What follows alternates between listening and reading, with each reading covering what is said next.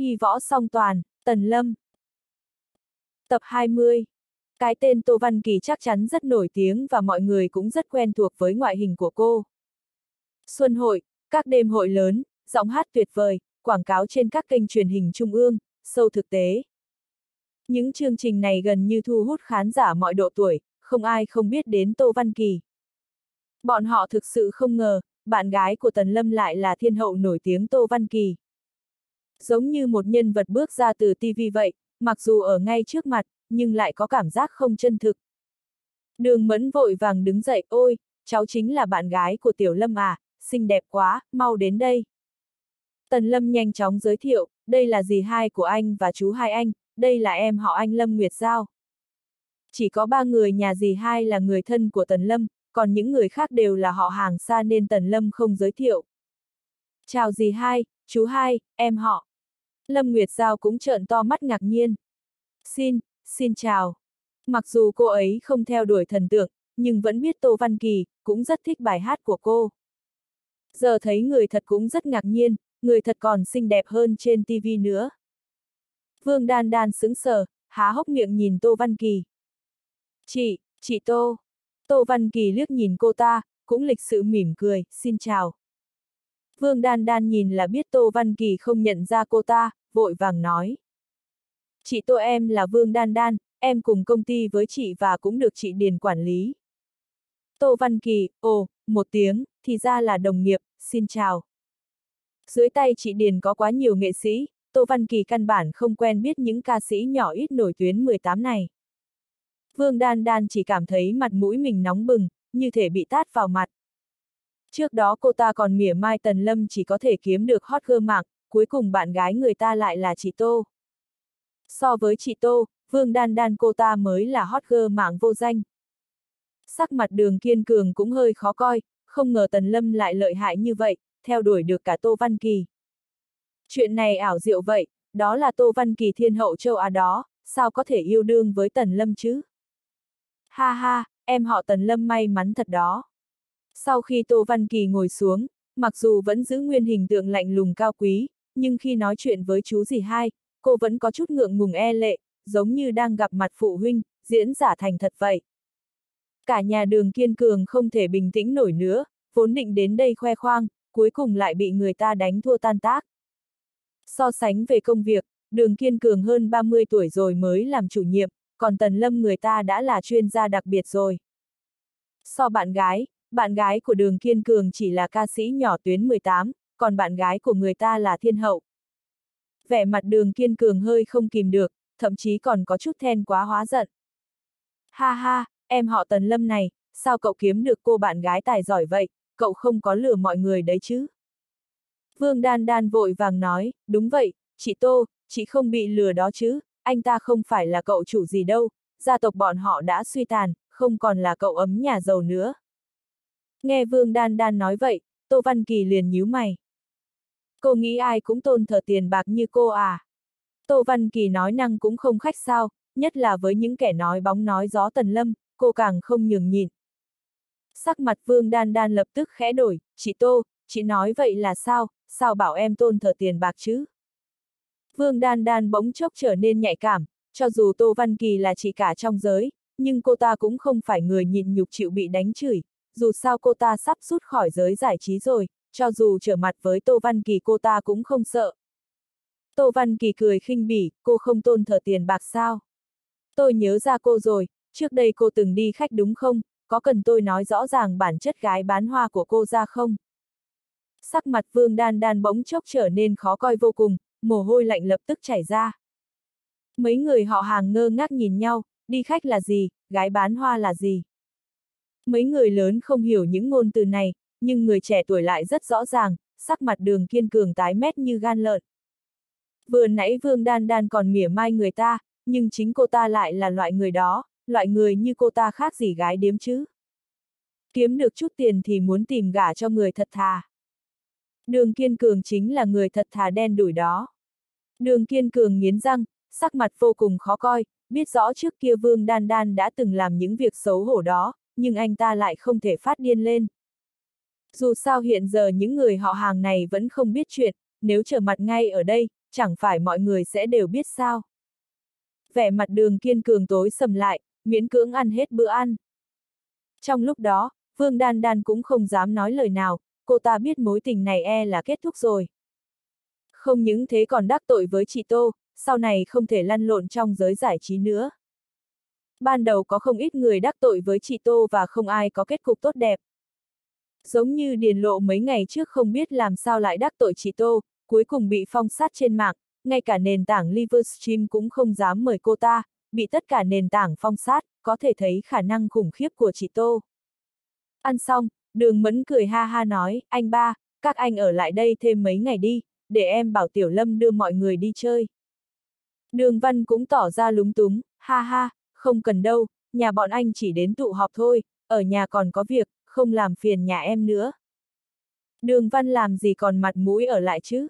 Ông ta từ tỉnh lỵ chạy đến đây khoe mẽ, cuối cùng không thành, bị người ta đánh thua tan tác, mất mặt muốn chết. Gia đình chú ba ăn xong liền rời đi luôn. Sau đó, Tô Văn Kỳ cùng Tần Lâm đến nhà dì hai. Trên đường, Lâm Nguyệt Giao nhéo nhéo Tần Lâm nói nhỏ. Chuyện gì đó, sao anh quen cả minh tinh nổi tiếng vậy? Tần Lâm mỉm cười, anh từng chữa bệnh cho cô ấy. Há, vậy hôm nay anh tìm cô ấy đến đây để đỡ đạn à? Chứ sao nữa? Lâm Nguyệt Giao trợn mắt, cô ấy còn tưởng Tô Văn Kỳ là bạn gái Tần Lâm thật, giật cả mình. Anh đừng có mà đùa giỡn, anh có biết Tô Văn Kỳ có quan hệ với Tần Đại Sư không? Mặc dù Lâm Nguyệt Giao không muốn thừa nhận, nhưng quả thực Tô Văn Kỳ là bạn gái của Tần Đại Sư, dù sao trước đây đoàn đội của Tô Văn Kỳ cũng đã thông báo rồi. Mặc dù cũng có thể là nói quá, nhưng nếu không được Tần Đại Sư đồng ý, có lẽ Tô Văn Kỳ cũng không dám nói linh tinh. Tần Lâm mỉm cười, sao, em sợ anh bị Tần Đại Sư đánh à? Lâm Nguyệt Giao không vui trợn mắt với Tần Lâm, sao anh vô tư như vậy chứ? Chuyện hôm nay nếu để Tần Đại Sư biết được, anh chắc chắn không có kết cục tốt đâu. Lâm Nguyệt Giao cảm thấy là giả, còn đường mẫn lại cảm thấy là thật. Dì hai và chú hai đối xử rất nhiệt tình với Tô Văn Kỳ, người ngoài cũng đi hết rồi chỉ còn lại người trong nhà, đường mẫn cũng bắt đầu hỏi những câu thường hỏi. Ví như nhà có mấy người, bố mẹ làm nghề gì, bao giờ kết hôn, có muốn sinh con không, bla bla.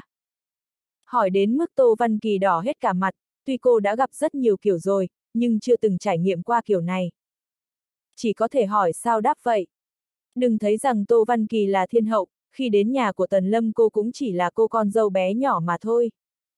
Lâm Nguyệt Giao biết bọn họ đang đóng kịch cũng mất hết cả hứng, nói với Tần Lâm. Anh họ, còn nhớ lần trước anh nói muốn cho em xem quyển sách dân gian không?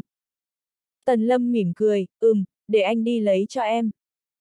Lúc trước Lâm Nguyệt Giao đã nhìn thấy Tần Lâm chữa khỏi được vài căn bệnh khó chữa, nhưng anh không thể giải thích rõ ràng được, anh ấy nói rằng đó là phương thuốc mà anh đã nhìn thấy trong một quyển sách dân gian và Lâm Nguyệt Giao luôn muốn mượn quyển sách ấy.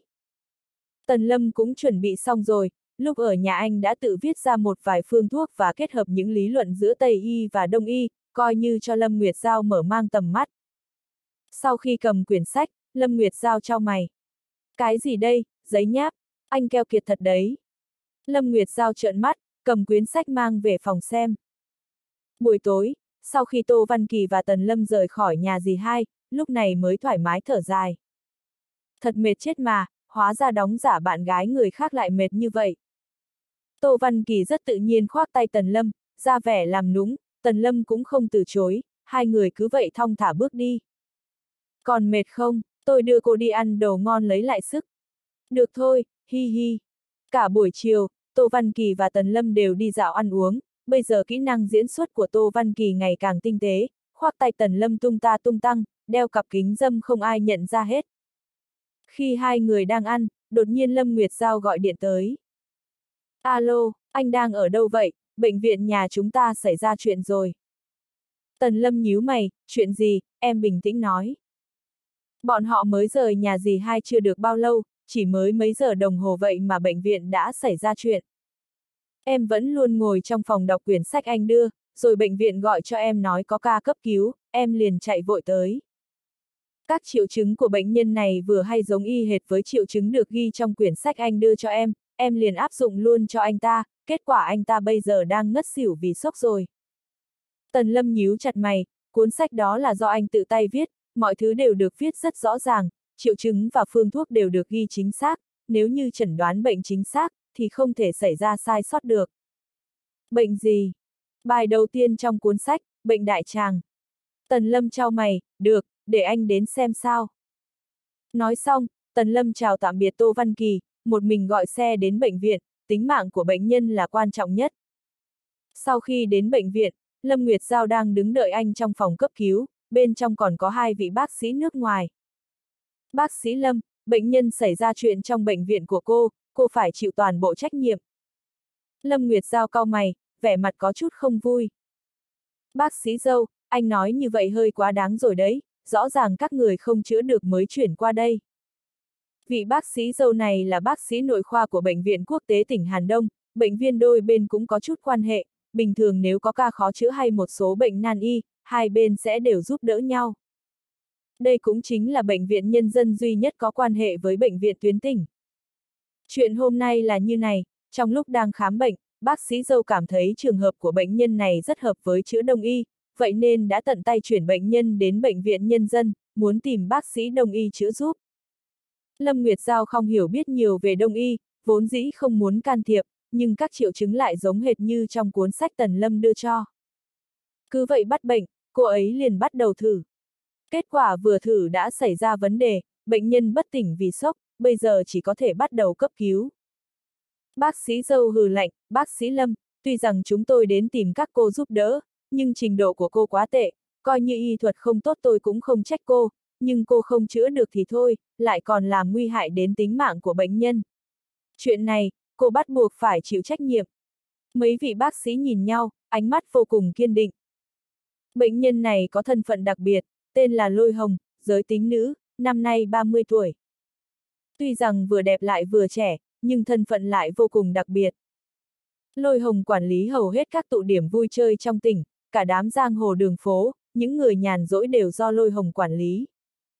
Nữ lão đại của ngành công nghiệp xám, giống như đoàn bảo đông của Đông Hải. Thân phận đặc biệt này của Lôi Hồng, chỉ cần xảy ra bất kỳ chuyện gì, e rằng không chỉ đơn giản như bồi thường hay sự cố chữa bệnh, sợ rằng tính mạng của bác sĩ chính cũng không do bản thân nắm giữ nữa. Cho nên khi chữa bệnh dâu cũng rất thận trọng, không dám thử bất cứ thứ gì có tác dụng phụ, trực tiếp chuyển củ khoai nóng này đến tay bệnh viện nhân dân. Lâm Nguyệt Giao nhíu chặt đôi mày, đang nghĩ đến cách cấp cứu thì của phòng phẫu thuật đột nhiên mở ra, mấy tên mặc áo vest đen bước vào. Trong đó, một tên đầu chọc thân toàn sát khí, trực tiếp giơ tay lên, nhắm thẳng khẩu súng lục đen vào đầu Lâm Nguyệt Giao. Cô chính là bác sĩ chữa chính. Lâm Nguyệt Giao giật mình, nhưng ngoài mặt vẫn điềm tĩnh, tôi chính là bác sĩ chữa chính, anh muốn làm gì? Tên đầu chọc lạnh lùng nói, nếu chị Hồng xảy ra bất kỳ chuyện gì, cô sẽ không được nhìn thấy ánh sáng của ngày mai đâu. Nói xong, tên đầu chọc hạ súng xuống, nhìn thấy vị bác sĩ nữ cùng với hai tên nước ngoài, cũng không có chút lực phản kháng nào, muốn chạy cũng không chạy được, liền gọi mấy mấy thằng đệ đứng canh trước cửa, đừng hòng ai chạy thoát. Dâu nhìn thấy tình huống này, nhanh chóng nói. Thưa ngài, tôi thực sự không liên quan gì đến chuyện này, khi chị Hồng còn ở bệnh viện tôi, vẫn luôn khỏe mạnh, chỉ là từ lúc đến bệnh viện này mới xảy ra chuyện. Tên đầu chọc nhăn mày, lạnh lùng liếc nhìn ông ta, bớt nói nhảm đi, chị Hồng mà xảy ra chuyện gì, các người đừng hòng thoát nổi. Lời của tên đầu chọc khiến sắc mặt dâu tái mét, đứng sang bên cạnh bắt đầu suy nghĩ xem làm cách nào để đổ toàn bộ trách nhiệm lên đầu Lâm Nguyệt Giao. Lâm Nguyệt Giao cẩn thận quan sát bệnh nhân, tình trạng cơ thể của lôi hồng thực sự rất đặc biệt, còn trẻ vậy, tại sao lại có nhiều phản ứng trái ngược như vậy? Hơn nữa cô ấy còn chữa trị theo như trong sách của Tần Lâm, tại sao lại xảy ra chuyện được? Nhìn thấy Lâm Nguyệt Giao lại bắt đầu lật xem sách y học, Kiều Nhĩ lập tức nói. Cô dựa vào cái này để chữa bệnh à? Làm vậy thì qua loa quá. Kiều Nhĩ cướp lấy quyển sách, mặt mày dữ tợn, nói với tên đầu chọc. Ông nhìn xem, cô ta dám dùng một quyển sách chép tay để chữa bệnh cho chị Lôi Hồng, như thế này đúng là xem mạng người như cỏ rác. Quyển sách này, ngay cả tác giả, xuất xứ, dấu chứng nhận, đều không có, vậy mà cô dám dựa theo phương thuốc trên đây để chữa cho người bệnh.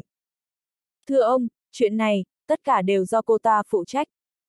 Tên đầu chọc cầm lấy quyển sách, nhìn thấy bên trên đúng là chữ chép tay, trước sau đều không có dấu chứng nhận, sắc mặt lập tức trầm xuống. Cô coi chị Hồng là ai hả? Lập tức đổi bác sĩ cho tôi. Tên đầu chọc nói xong, Tần Lâm đứng ở cửa đột nhiên bước vào. Để tôi xem xem. Nhìn thấy Tần Lâm mặc quần áo bình thường, tên đầu chọc nhíu mày. Cậu là ai? Tần Lâm không quan tâm đến ông ta, đi thẳng đến chỗ người bệnh, nhìn thấy lôi hồng nhắm chặt hai mắt, nghiến chặt răng, sắc mặt tái nhợt, lập tức nhíu mày, bắt đầu bắt mạch. Nhìn thấy Tần Lâm đến, Lâm Nguyệt Giao cũng thở phào nhẹ nhõm, mặc dù trong mắt cô Tần Lâm cũng không lợi hại mấy, có điều anh dù sao cũng là bác sĩ đông y, trên lĩnh vực đông y nhất định giỏi hơn cô ấy, hơn nữa quyển sách này là do Tần Lâm chép lại, biết đâu có cách giải quyết. Nhìn thấy Tần Lâm không nói lời nào đã khám bệnh, tên đầu chọc nổi giận, liền giơ súng, họng súng đen ngòm chĩa vào chán Tần Lâm. Tôi hỏi cậu, cậu không nghe thấy à? Tần Lâm nhíu mày, có hơi mất kiên nhẫn, giơ tay tóm lấy cây súng, bóp mạnh một phát. Rắc rắc một tiếng. Họng súng làm bằng kim loại lập tức bị Tần Lâm bóp đến biến dạng, cây súng lạnh lẽo lập tức trở nên nóng đến bỏng tay, tên đầu chọc buông tay ra, thả cây súng bị hư xuống mặt đất. Tần Lâm lạnh lùng nói, muốn cứu người thì đừng nhiều lời. Tên đầu chọc lùi về sau hai bước, sắc mặt vô cùng khó coi, không ngờ tên đàn ông trước mắt lại lợi hại đến vậy. Tay không bóp súng của ông ta. Hừ, nếu không chữa khỏi được cho chị Hồng, mấy người đừng nghĩ đến chuyện ra được khỏi cổng bệnh viện. Tên đầu chọc đứng ở cổng canh chừng, lấy ra một cây súng khác, nếu như chị Hồng xảy ra chuyện gì, ông ta sẽ không do dự mà ra tay, cho dù Tần Lâm có kỳ quái như vậy, ông ta cũng không sợ. Hạ đường huyết. Tần Lâm kiểm tra một lượt, phát hiện ra bệnh của lôi hồng khá đơn giản. Trào ngược dạ dày, đại tràng đầy hơi.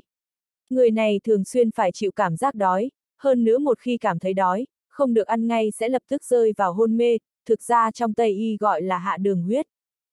Lâm Nguyệt Giao gật đầu, đúng là hạ đường huyết, có điều người bệnh bị dị ứng với thuốc kháng sinh, không dùng được cephalosporin và cả penicillin, vậy nên em mới dùng phương thuốc của anh. Tần Lâm gật đầu, cơ thể bị dị ứng với thuốc kháng sinh thì đúng là khó xử lý, cho dù là đông y thì vẫn có nhiều loại dược liệu có chứa thuốc kháng sinh, không thể sử dụng. Có điều nếu kê đơn dựa theo quyển sách mà Tần Lâm viết thì chắc sẽ không xảy ra vấn đề gì. Tần Lâm quay đầu nhìn Kiều Nhĩ, hỏi. Anh cho cô ấy uống thuốc gì rồi? Sắc mặt Kiều Nhĩ lập tức thay đổi, tôi không cho cô ấy uống gì cả, người bệnh vừa bất tỉnh, tôi đã đưa ngay đến bệnh viện của mấy người rồi, anh đừng có nói vớ vẩn. Tần Lâm nhíu mày, tốt nhất là anh nghĩ kỹ rồi hãng nói, đừng nói dối trước mặt tôi. Sắc mặt Tần Lâm lạnh lùng, cũng chẳng cần dùng giọng tử tế để nói với cái loại bác sĩ này. Nếu như anh không nói thật, người bệnh có thể mất mạng, đến lúc đó anh sẽ phạm tội mưu sát.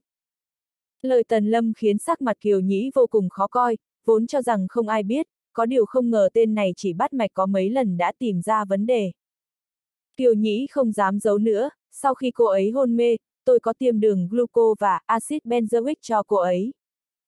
Lâm Nguyệt Giao nhíu mày, anh không biết người bệnh bị dị ứng với thuốc kháng sinh sao, sao lại tiêm axit benzoic cho người bệnh. Kiều Nhĩ nhắm mắt nói, axit benzoic không phải thuốc kháng sinh, cô ấy cũng hôn mê rồi, tôi đương nhiên phải ưu tiên cấp cứu, tiêm axit benzoic thì có vấn đề gì chứ?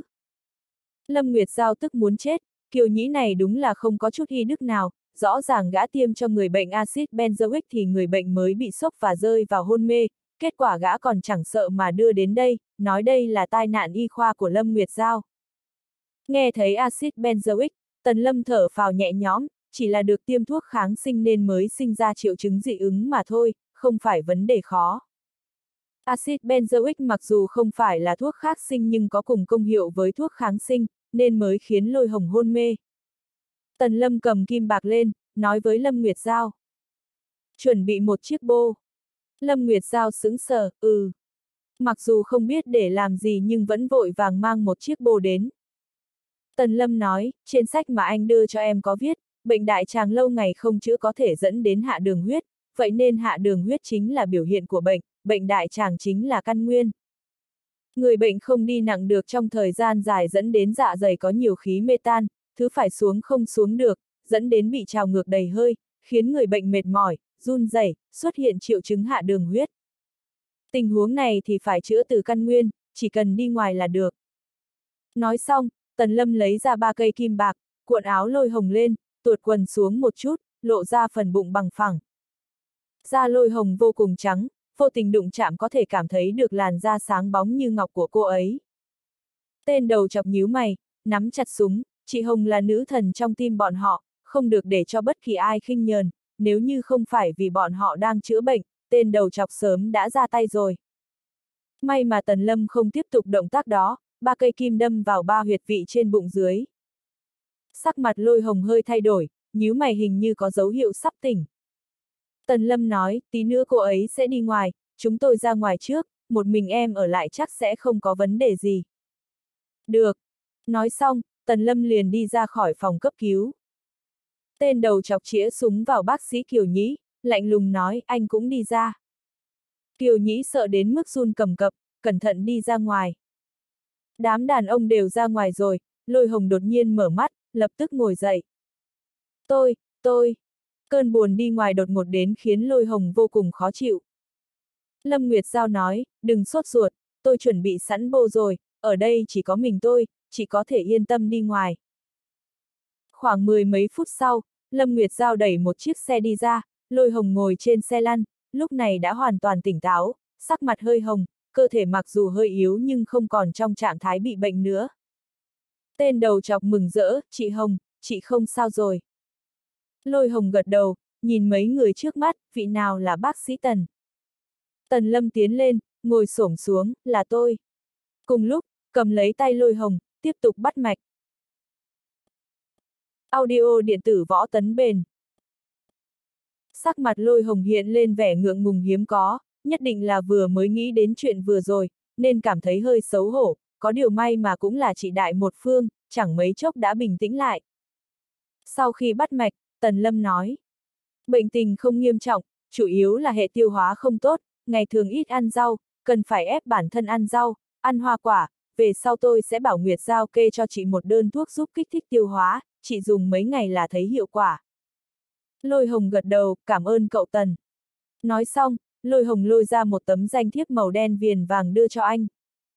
Cậu Tần, đây là danh thiếp của tôi, sau này có cơ hội đến tỉnh lỵ thì có thể liên lạc với tôi, tôi nhất định sẽ tiếp đái cậu thật long trọng.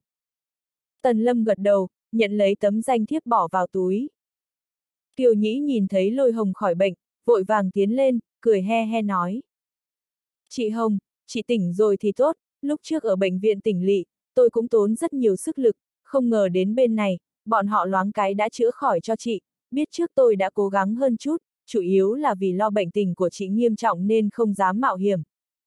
Kiều Nhĩ nói mấy lời này mà chẳng hề đỏ mặt, rõ ràng là trách nhiệm của gã, kết quả bây giờ lôi hồng khỏe rồi, gã lại chiếm hết công lao. Trong lời nói còn rất rõ ràng, ý bảo Kiều Nhĩ chữa gần khỏi rồi, đến đây, để bọn Tần Lâm lấy mất công. Lôi hồng lạnh lùng nhìn gã.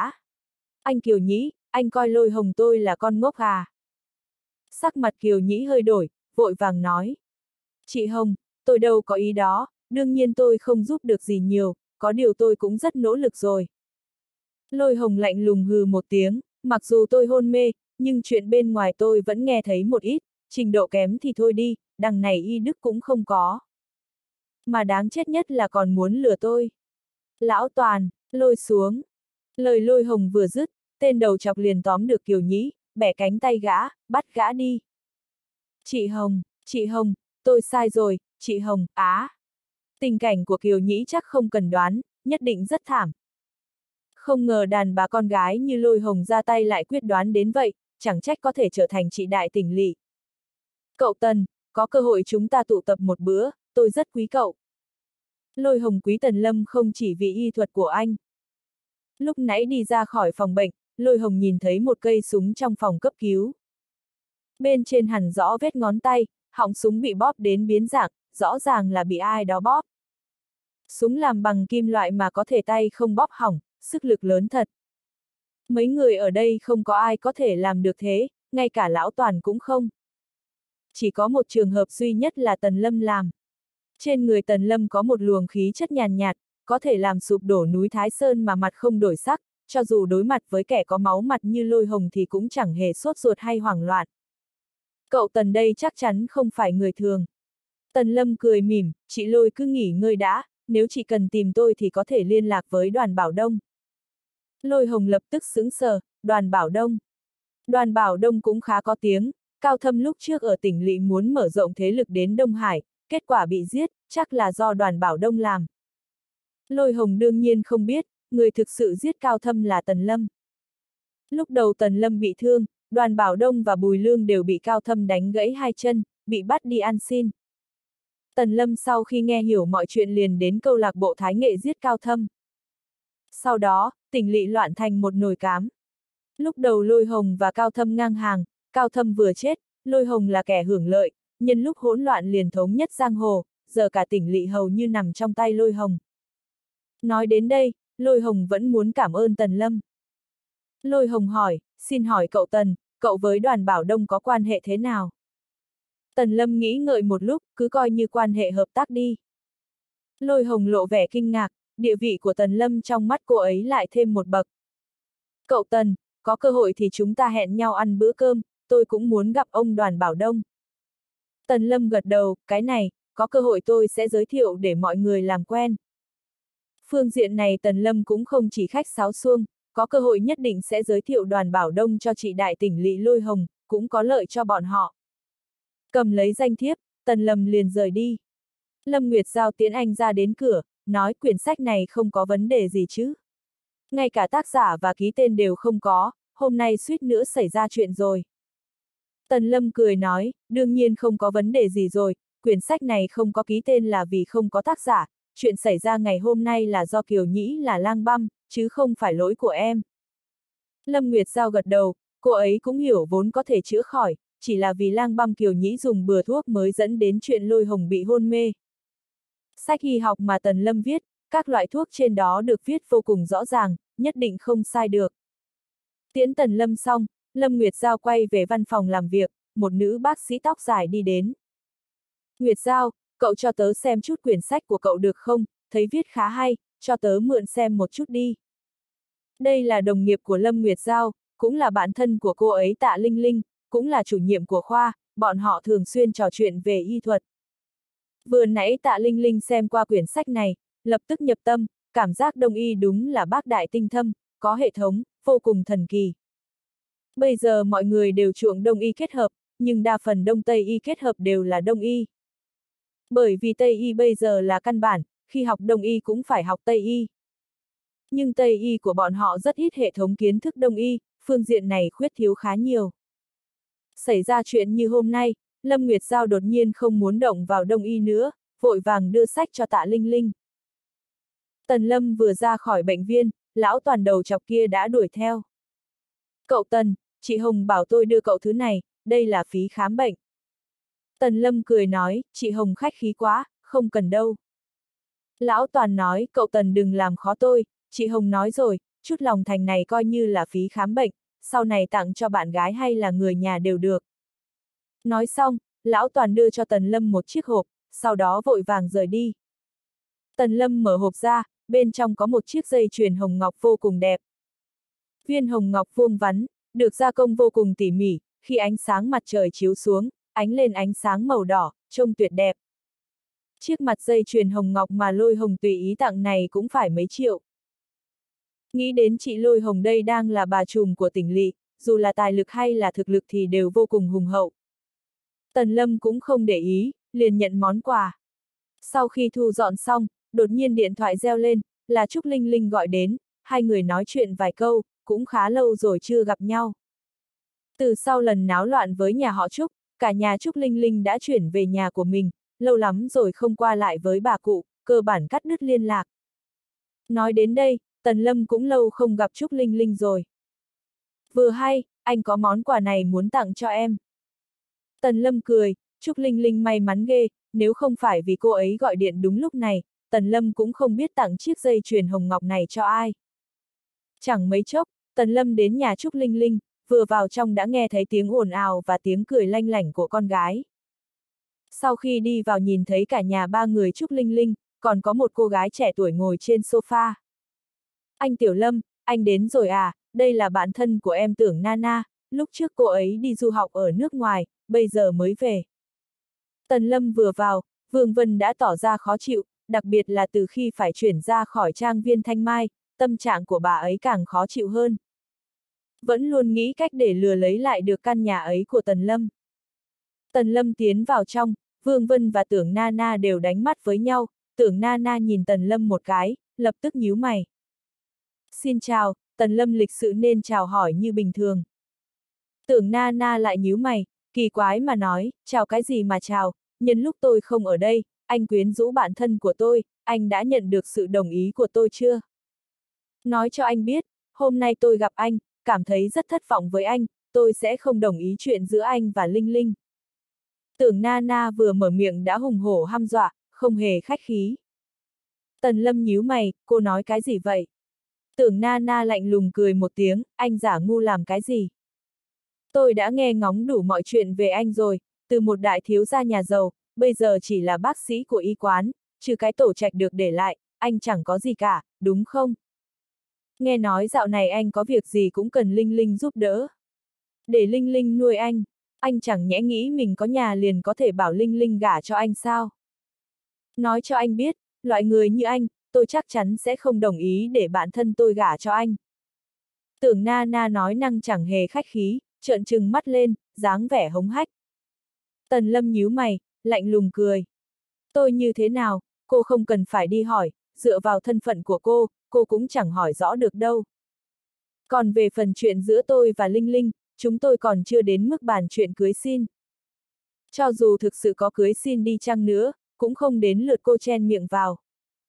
Nói tôi không đủ tư cách, cô nghĩ cô là cái thá gì chứ? Mấy câu này của Tần Lâm khiến sắc mặt tưởng na na xanh lét như tàu lá chuối. Anh, chấm ANS dám nói thế với tôi. Trúc Linh Linh vội vàng kéo tưởng na na lại, na na. Cậu làm gì vậy, sao lại nói năng như vậy với anh Tiểu Lâm? Tưởng na na tức đến mức không chịu nổi, ôm eo thở hổn hển. Tớ nói anh ta thì làm sao chứ, anh ta cóc ghẻ mà đòi ăn thịt thiên Nga, đã vậy còn không cho người khác nói, dám nói tớ chẳng là cái thá gì, tức chết mất, tức chết mất. Linh Linh, cậu xem anh ta sao có thể so được với John được. Trúc Linh Linh nhíu mày, Nana đừng nói vớ vẩn, tớ và John chẳng có quan hệ gì hết. Tưởng Nana lạnh lùng hừ một tiếng, cậu thấy không có quan hệ, John lại thích cậu, nếu không sao lại bay từ nước mễ xa xôi về đến đây. Trúc Linh Linh nhíu mày, lúc này cũng không biết phải nói gì. Tưởng Nana lần này không về nước một mình, mà còn đem theo một anh bạn học người nước ngoài. Anh bạn học tên là John, là người nước mễ, lúc trước khi nghỉ hè đến Hoa Hạ chơi mấy lần, cũng từng gặp Trúc Linh Linh, gặp một lần xong liền cả đời không quên, vẫn luôn nhớ nhung đến cô. Lần này nghe nói Trúc Linh Linh có bạn trai rồi, John thực sự không ngồi yên được, vội vàng chuẩn bị thổ lộ với Trúc Linh Linh. Vương Vân nghe thấy vậy liền cười khẩy, đúng vậy, mẹ nghe nói John ở nước ngoài cũng rất được ấy, làm kinh tế, mỗi phút đều kiếm được mấy triệu, có những người không so được đâu. Vương Vân kỳ quái trợn mắt nhìn Tần Lâm. Sau đó, đột nhiên nhìn thấy trên tủ giày có một chiếc hộp. Á, à, đây là cái gì? Vương Vân cầm chiếc hộp, liền bóc ra. Tần Lâm vừa định nói, Vương Vân đã trợn mắt nhìn anh. Làm gì vậy, đồ nhà tôi? Nói xong, Vương Vân mở hộp ra, mắt sáng lên. Wow, dây chuyền hồng ngọc. Trong các loại đá quý cao cấp, dây chuyền hồng ngọc là loại kinh điển không bao giờ lỗi thời. Hơn nữa trên thị trường có rất nhiều hồng ngọc, loại xuất chúng lại vô cùng ít. Viên hồng ngọc này vô cùng lóng lánh, trong suốt, hình như bên trong không có bất kỳ tạp chất nào, trông vô cùng sang trọng, giá thành cũng không rẻ. Chiếc dây chuyền hồng ngọc này đẹp quá, chắc cũng phải mấy trăm nghìn nhỉ. Linh Linh, con mua tặng mẹ à? Vương Vân ra mặt dày thật, nhìn thấy đồ tốt liền muốn lấy luôn. Trúc Linh Linh mơ hồ lắc đầu, không phải đâu, con đâu mua thứ này. Vương Vân lại hỏi, Nana, là cháu mua tặng gì Vương à? Tưởng Nana bất đắc dĩ nói, cháu cũng muốn mua tặng gì lắm, nhưng không mua nổi, món đồ đắt thế này cháu còn không mua được cho mình. Vương Vân gật đầu, nói cũng có lý. Vậy cái này là ai mua tặng cho tôi?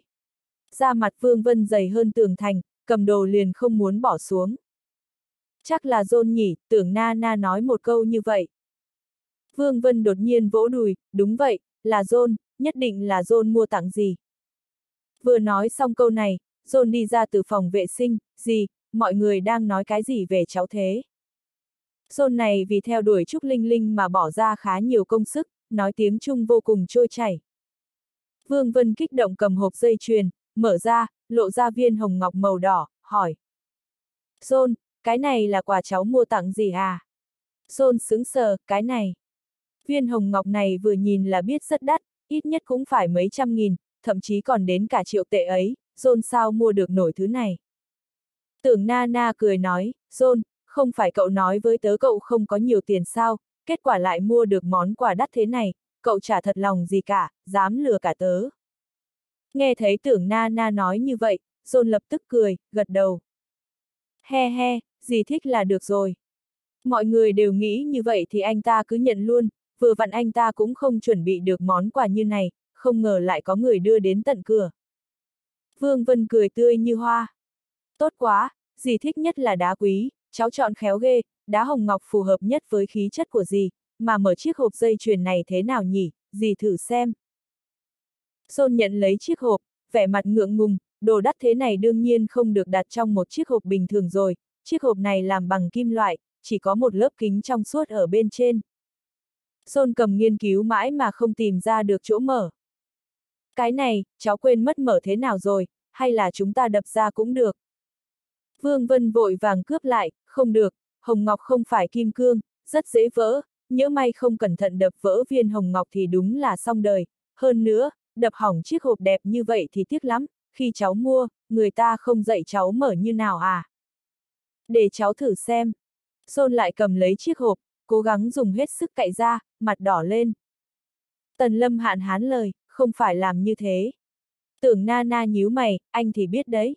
Cũng đâu phải do anh mua, anh chen mồm vào làm gì, John mua quà tặng gì Vương, sao không thấy anh mua tặng gì quà gì nhỉ?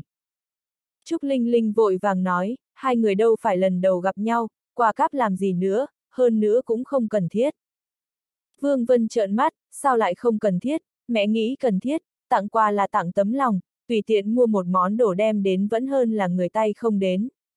John mua đồ, cho dù có làm vỡ thì cũng là chuyện của cậu ấy. Tần Lâm lạnh lùng hừ một tiếng, đồ do anh ta mua. Cô chắc chứ? John dùng hết sức mà vẫn không mở được chiếc hộp ra, chỉ có thể bỏ cuộc, nghỉ ngơi một lúc, nhìn Tần Lâm lạnh lùng nói. Là tôi mua thì sao chứ, nghe nói anh cũng theo đuổi Trúc Tiểu Thư. Vốn cho rằng tôi có một đối thủ cạnh tranh, bây giờ có vẻ như anh cũng chẳng ra sao cả. Tần Lâm lạnh lùng nhìn John, mặt lộ vẻ không quan tâm. Cạnh tranh, anh nhầm rồi, tôi chưa từng muốn cạnh tranh với anh, hơn nữa, anh không đủ tư cách. Đừng nói Tần Lâm không muốn cạnh tranh, cho dù thực sự cần cạnh tranh với người khác thì cũng phải là người trí dũng kiệt xuất. Còn John đây thì không xứng. Vương Vân lại cầm lấy chiếc hộp, vừa nghiên cứu vừa nói. Cậu ấy đương nhiên không thể so với cậu được rồi, món quà đắt thế này tôi còn chưa được nhận bao giờ đâu, chỉ là sao không mở được nhỉ, hay là lên mạng tra xem sao. Tưởng Nana cũng muốn cùng nghiên cứu giúp bà ấy. Chiếc hộp này rốt cuộc mở thế nào? Tìm chiếc tua vít đến đây. Tua vít cũng không có tác dụng đây, bên trên đâu có ốc vít. Dì xem, ở đây có một khe hở vô cùng nhỏ, hay là dùng dao gọt hoa quả để cạy, chắc sẽ mở được ấy. Mấy người cẩn thận chút, đừng làm hỏng vòng hồng ngọc của dì. Nhìn thấy mấy người cố đấm ăn xôi mở chiếc hộp, Tần Lâm cạn lời, tiến lên, cầm lấy chiếc hộp. Sắc mặt Vương Vân lập tức thay đổi, làm gì vậy, là đồ của cậu à mà cậu được cầm. Đừng có làm hỏng đấy. Tưởng na na cũng vội vàng nói, anh tay chân vụng về, đừng có làm hỏng viên hồng ngọc ở bên trong, bị xước một vết thôi cũng bị tụt mất mấy chục nghìn giá trị ấy, anh đền được không? Hai người nói xong, Tần Lâm lật chiếc hộp lại, ấn ngón cái vào phần bên dưới, sau đó, vân tay được nhận diện. Ken két, chiếc hộp được mở ra. Chiếc hộp được mở ra trong nháy mắt, mấy người đều sững sờ, mặt ai cũng khó coi. Chiếc hộp được mở ra rồi, hơn nữa là khóa vân tay, điều này chứng minh chiếc vòng hồng ngọc này thuộc về Tần Lâm. Vừa nãy John còn cố nhận là do anh ta mua, bây giờ thì lộ ra chân tướng rồi, đúng là muối mặt mà. Chiếc hộp được mở ra, Tần Lâm cầm lấy sợi dây chuyền, từ từ đưa cho Trúc Linh Linh, hai tay vòng qua cổ cô ấy, đeo lên cho cô ấy. Chiếc vòng hồng ngọc đeo trên ngực Trúc Linh Linh, cô ấy vô cùng kinh ngạc. Anh Tiểu Lâm, cái này anh tặng cho em sao? Tần Lâm gật đầu, ừ, có điều không phải anh mua, là người khác tặng cho anh, em không để ý chứ. Trúc Linh Linh vui vẻ mỉm cười, anh Tiểu Lâm tặng cho em là em vui rồi, em đương nhiên sẽ không để ý. Tưởng Na Na vừa nghe, vội vàng nói, người khác tặng. Ai tặng cho anh? Vốn cô ta vô cũng nghi ngờ, đã nghe ngóng kỹ càng tên họ Tần này, sao anh mua nổi chiếc vòng hồng ngọc đắt thế này chứ? Tần Lâm nói, anh chữa bệnh ở bệnh viện, sau đó người bệnh tặng anh. Đương nhiên cái này là để giải thích cho Trúc Linh Linh nghe. Tưởng Na Na lúc này mới hiểu ra, bĩu môi, lạnh lùng hừ một tiếng. Không ngờ làm bác sĩ mà cũng được tặng mấy thứ này, cứ tưởng là anh dựa vào thực lực của bản thân để mua. Dù sao trong mắt tưởng Nana, John vẫn hơn Tần Lâm cả trăm lần, Tần Lâm nhất định không xứng với Trúc Linh Linh. Bác sĩ đến già vẫn là bác sĩ, mặc dù không nghèo nhưng cũng chẳng giàu được. Nhưng mà người ta làm kinh doanh, làm kinh tế, vẫn luôn có cơ hội giàu to, hơn nữa rất có tiền đồ, biết đâu sau này John là Bill Gates thứ hai. Sắc mặt Vương Vân tái xanh, không ngờ chiếc vòng cổ hồng ngọc này lại là của Tần Lâm, tên này may thật, chữa bệnh cho người có tiền, người ta liền tặng luôn đồ.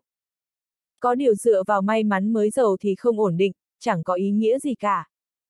Được rồi Linh Linh hôm nay con chẳng phải còn phải gặp khách hàng sao, mau đi đi, đừng để lãng phí thời gian, Vương Vân tức tối nói một câu. Tưởng Na Na nói, đúng, hôm nay tớ giúp cậu liên lạc với một khách hàng lớn, biết đâu có thể giúp cậu xoay vòng vốn, có vay có trả, anh ấy làm ngành này khá lâu rồi. Trúc Linh Linh gật đầu, ừm, vậy chúng ta đi thôi, đừng để người ta sốt ruột.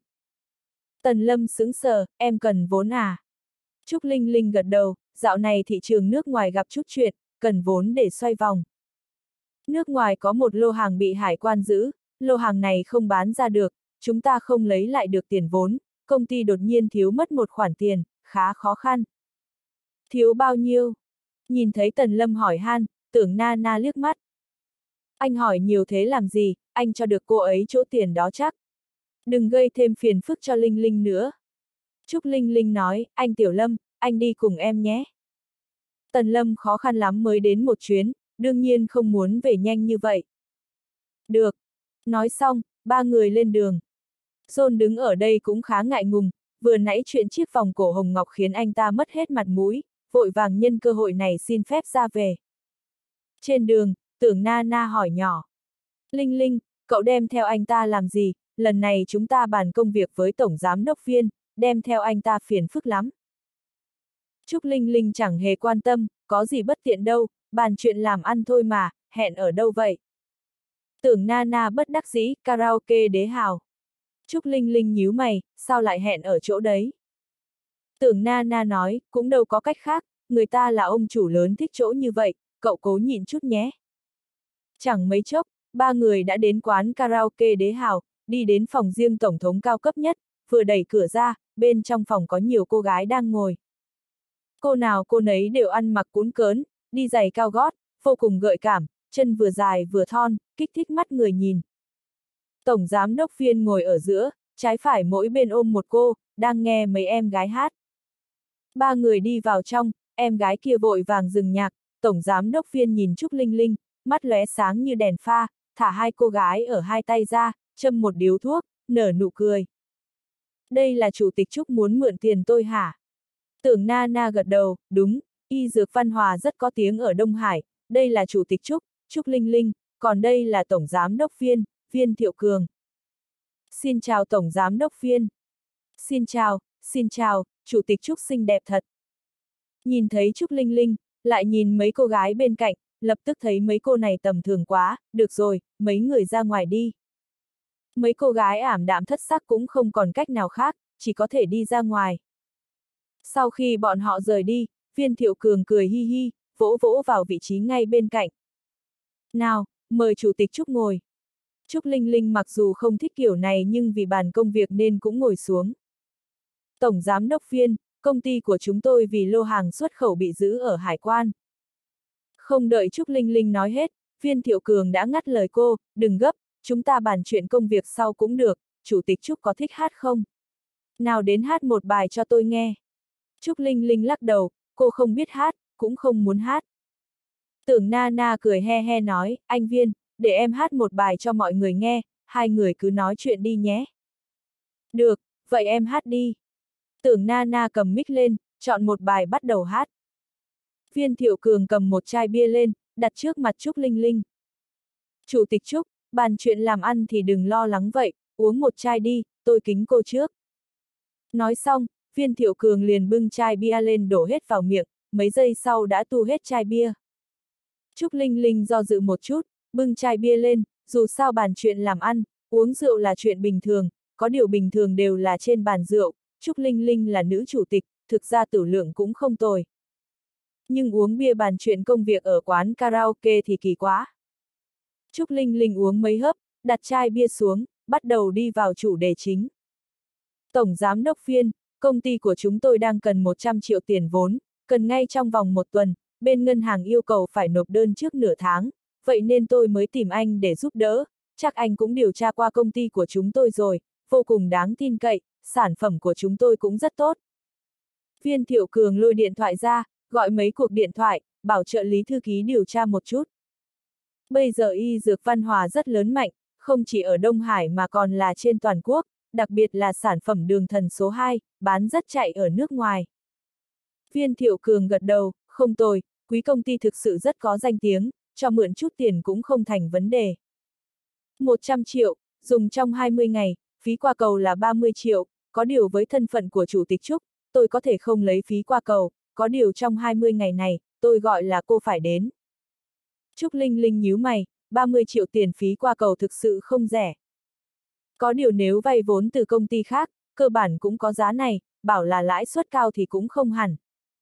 May mà Trúc Linh Linh chỉ mượn có 20 ngày, lãi suất thế này là ok lắm rồi. Tổng Giám đốc Viên, gọi là đến ý anh là gì? Viên Thiệu Cường cười nhạt, sao nào, nghe không hiểu sao? Ý là tôi không cần phí qua cầu trong 20 ngày này, nhưng trong thời gian vay tiền, chỉ cần tôi muốn chơi gái, tôi gọi là cô phải ngoan ngoãn đến để tôi chơi, tôi nói đã đủ thẳng thắng chưa? Mặt Trúc Linh Linh lập tức biến sắc, cô đập bàn. Tổng Giám đốc Viên, xin anh có tự trọng một chút. Thấy Trúc Linh Linh nổi giận đến vậy, viên thiệu cường liền nhíu mày.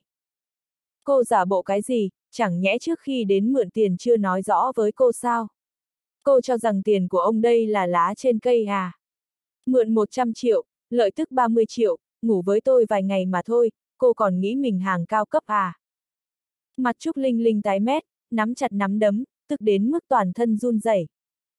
Nhìn tưởng Nana, tức đến mức muốn chết luôn. Tưởng Nana có hơi ngượng ngùng, lúc trước cô ta không hề nói thật với Trúc Linh Linh, cho rằng nói bóng nói gió là cô tự khắc hiểu. Tưởng Nana vội vàng hạ mic xuống, đến trước mặt Trúc Linh Linh. Linh Linh, cậu làm gì vậy? Tổng giám đốc viên cho cậu cơ hội, không thì cậu lấy đâu ra được 100 triệu, hơn nữa tổng giám đốc viên không cần lợi tức, ba chục triệu, 20 ngày thôi mà, nhịn chút là được. Trúc Linh Linh nghe thấy câu này, suýt nữa tức đến mức mắng người. Tưởng Nana, cậu nghĩ tớ là ai, cậu nghĩ tớ sẵn sàng bán thân để làm vậy à? Tưởng Nana cũng không biết nói gì, tớ không nói thế, tớ chỉ cảm thấy tổng giám đốc viên cũng ok mà, nên muốn làm mối cho hai người. Tổng giám đốc viên là ông chủ lớn, cậu có ông chủ lớn như vậy để chống lưng, sau này cần gì đau đầu vì tiền nữa. Trúc Linh Linh thực sự không biết nên nói gì, cô ấy coi tưởng Nana là bạn tốt, không ngờ tưởng Nana lại lừa cô, ra nước ngoài mấy năm, tam quan sao lại thay đổi thế này. Nana, không cần, tớ không mượn tiền nữa, tớ đi đây. Trúc Linh Linh thực sự không chịu được nữa, chuẩn bị rời đi. Viên Thiệu Cường nhíu mày, đột nhiên đứng lên, chặn Trúc Linh Linh lại. Chủ tịch Trúc, mất công hẹn tôi đến đây, kết quả cô nói không mượn là không mượn à. Cô coi tôi là thằng hề, muốn chơi tôi hả? Trúc Linh Linh nhíu mày, cảm thấy vô cùng phản cảm với người đàn ông trước mắt. Vậy anh muốn thế nào? Viên thiệu cường lạnh lùng hừ một tiếng, vì cô mà lúc nãy tôi đuổi hết mấy cô gái ra ngoài, cô lên giường với tôi một lần, tôi sẽ bỏ qua chuyện này. Anh có mà nằm mơ, Trúc Linh Linh nổi giận đùng đùng. Viên thiệu cường lạnh lùng hừ một tiếng, đây không phải điều mà cô có thể quyết định. Nói xong, viên thiệu cường cởi áo ra, lộ ra cơ thể toàn thịt, sau đó duỗi tay ra muốn sờ soạn cơ thể Trúc Linh Linh. Tần Lâm đột nhiên đá một cước. Bốp một tiếng. Cước này của Tần Lâm đạp ngay vào cái bụng to của viên thiệu cường béo ú, bởi vì không mặc áo, nên có thể thấy rõ uy lực của cú đá, lộ rõ trên bụng hắn. Viên thiệu cường bay ra, đập mạnh lên bàn trà bằng thủy tinh, khiến cho bàn trà vỡ vụn, sau lưng đầy máu, tất cả đều là vết thủy tinh cứa vào. Viên thiệu cường đỏ bừng mặt, dẫy dụa như con sâu béo trên mặt đất, cố mãi mới đứng dậy được. Mẹ kiếp, mày dám đá tao, mày muốn chết phải không, tao sẽ cho mày chết, cho mày chết. Sắc mặt tưởng na na thay đổi rõ rệt, cô ta nhanh chóng bước tới đỡ viên thiệu cường lên. Tổng giám đốc viên không sao chứ? Cút! Viên thiệu cường đẩy mạnh tưởng na na xuống đất. Tưởng na na kêu lên một tiếng vì đau đớn, nhưng cô ta vẫn đứng dậy, bày ra bộ lấy lòng tiến về phía viên thiệu cường để kiểm tra vết thương của hắn. Sau đó, tưởng na na bước đến chỗ tần lâm, chỉ vào anh và mắng. Mẹ kiếp, anh có điên không? Anh dám ra tay với tổng giám đốc viên ư, anh xem nếu tôi không dạy dỗ anh. Nói xong, tưởng na na đưa tay lên đỉnh tát về phía anh. Tuy nhiên khi tay tưởng Nana vừa đưa lên thì một cái bạt tai của Tần Lâm đã ập đến. bóp một tiếng. Một cái tát thẳng vào mặt của tưởng Nana, trực tiếp làm cho miệng cô ta tóe máu. Tôi nhịn cô lâu rồi đó. Cái tát này suýt chút nữa làm cho tưởng Nana ngất đi. Viên thiệu cường nhanh chóng lấy điện thoại ra gọi cho ai đó. Alo, tôi là viên thiệu cường, tôi đang ở karaoke đế hào, mau gọi người đến. Tần Lâm cũng không buồn cản hắn, cái loại người ỉ có chút quyền lực lại đi ức hiếp người khác, Tần Lâm cứ để hắn gọi người chống lưng đến rồi đánh luôn một thể, sẵn tiện trừ hậu họa về sau. Tưởng na na ngồi dưới đất, cũng không dám la lên, cái tát của Tần Lâm thực sự khiến cho cô ta sợ hãi, nếu như còn tiếp tục dùng lực nữa thì mặt cô ta sẽ bị biến dạng mất. Nhưng tưởng na na vẫn thấp giọng nói, Tổng Giám Đốc Viên chính là nhân vật lớn ở tỉnh Lị, nếu như anh quá kích động thì không chỉ mỗi mình anh chịu thiệt, mà còn có cả Trúc Linh Linh nữa đấy. Trúc Linh Linh cao mày, cảm thấy mọi chuyện cũng không hề đơn giản, nhưng cô vẫn đứng sau lưng Tần Lâm, quyết không nhượng bộ. Cùng lắm thì cùng nhau đền tiền thôi. Tần Lâm ra tay cũng là vì cô, đương nhiên Trúc Linh Linh biết phân biệt tốt xấu. Tưởng na na hừ lạnh một tiếng, đền tiền. Cậu xem một ông chủ lớn như thế này sẽ thiếu tiền sao? Linh Linh, cậu đừng ngu ngốc nữa, Cậu nhanh chóng đồng ý ngủ với Tổng Giám Đốc Viên mấy hôm đi, nói không chừng Tổng Giám Đốc Viên có thể bỏ qua cho chúng ta đấy, nếu như Tổng Giám Đốc Viên nhìn chúng tớ thì tớ đã cặp với anh ấy lâu rồi. Trúc Linh Linh cạn lời, cậu im miệng đi, tưởng Nana, sau này tớ sẽ không có một người bạn như cậu nữa. Tưởng Nana sững ra một lúc, tức đến mức không nói nên lời. Được lắm, Trúc Linh Linh, tớ vì cậu nhưng cậu lại không biết điều vậy thì để xem các người xử lý như thế nào. Lần này tưởng Nana hoàn toàn đứng về phía viên thiệu cường, sau khi cô ta đỡ tổng giám đốc viên đứng dậy, hai người ngồi trên sofa gọi người đến. Người của tổng giám đốc viên còn chưa kịp tới, đột nhiên cửa của quán karaoke bị đẩy ra. Một người đàn ông trung niên đeo kính đi vào, cau mày hỏi. Đã xảy ra chuyện gì? Giọng nói của người đàn ông vang vọng, vô cùng có khí phách bề trên, Ông ta nhìn thấy cảnh tượng như vậy nhưng không chút nào hoảng sợ, vừa nhìn là biết nhân vật lớn. Nhìn thấy người đàn ông này, đột nhiên tưởng Nana Na trở nên vui mừng. Trần Đế Hào, Chủ tịch Trần. Vị này là Chủ tịch Trần, ông chủ của karaoke Đế Hào. Karaoke Đế Hào là một chuỗi karaoke ở các tỉnh, trụ sở chính tại tỉnh Lị, Đông Hải chỉ có một chi nhánh duy nhất này, ngành này vô cùng lớn và có vị trí rất quan trọng thời buổi này có chút quan hệ mới có thể mở được quán karaoke. Trần Đế Hào này cũng coi như là một nhân vật máu mặt ở tỉnh lỵ, là loại người mà bước một bước cũng có thể làm chấn động mọi thứ. Tưởng Na Na kích động đứng lên, chỉ vào Tần Lâm và nói. Chủ tịch Trần, là anh ta, anh ta là người ra tay đánh tổng giám đốc viên ở đây. Trần Đế Hào cau mày, lạnh lùng nhìn Tần Lâm, dám làm sằng ở karaoke đế vương này à, không muốn sống nữa sao? Bình thường Trần Đế Hào không ở quán karaoke, ông ta thường sẽ ở tỉnh lỵ. Ngay cả nhân viên và quản lý của quán cũng không thường xuyên nhìn thấy ông ta. Không ngờ hôm nay lại có thể gặp được Trần Đế Hào, vừa hay lại có thể gặp ông ta ở đây, thật trùng hợp làm sao. Dám làm loạn ở địa bàn của Trần Đế Hào, Tần Lâm coi như xong đời rồi, không cần Tổng Giám Đốc Viên phải ra tay nữa. Tần Lâm lạnh lùng nhìn Trần Đế Hào nhưng không thèm lên tiếng, trong mắt anh lộ ra vẻ khinh miệt. Sắc mặt Trần Đế Hào trầm xuống, lạnh lùng nói. Tao nói chuyện với mày, không nghe thấy sao? Dám ở địa bàn của tao ngông cuồng à? Tự động chặt tay của mình đi, tao sẽ để cho mày sống. Mặc dù Trần Đế Hào là một doanh nhân, nhưng ông ta cũng xuất thân từ những nơi chợ búa, đương nhiên ông ta cũng sẽ không lịch sự với những kẻ muốn gây rối. Trần Đế Hào vừa nói xong, Tần Lâm liền cười khẩy. Chặt một cánh tay, ông có bản lĩnh đó sao? Trần Đế Hào nheo mắt lại, trên mặt lộ ra vẻ giễu cợt, thằng nhóc, còn không xem xem đây là địa bàn của ai, lại dám nói năng với tao như vậy, mày là người đầu tiên ở Đông Hải đấy. Tần Lâm cười nhạt, khẩu khí cũng lớn đấy, ở Đông Hải thì ông là cái thá gì chứ? Lời nói của Tần Lâm lập tức khiến cho tất cả mọi người biến sắc. Tưởng Na Na đột nhiên kích động, sau đó chỉ vào Tần Lâm và nói. Anh thật sự muốn chết đấy à, đắc tội với Tổng Giám Đốc Viên, bây giờ lại còn đắc tội Chủ tịch Trần. Chủ tịch Trần chỉ cần động nhẹ đầu ngón tay cũng đủ đè bẹp anh rồi.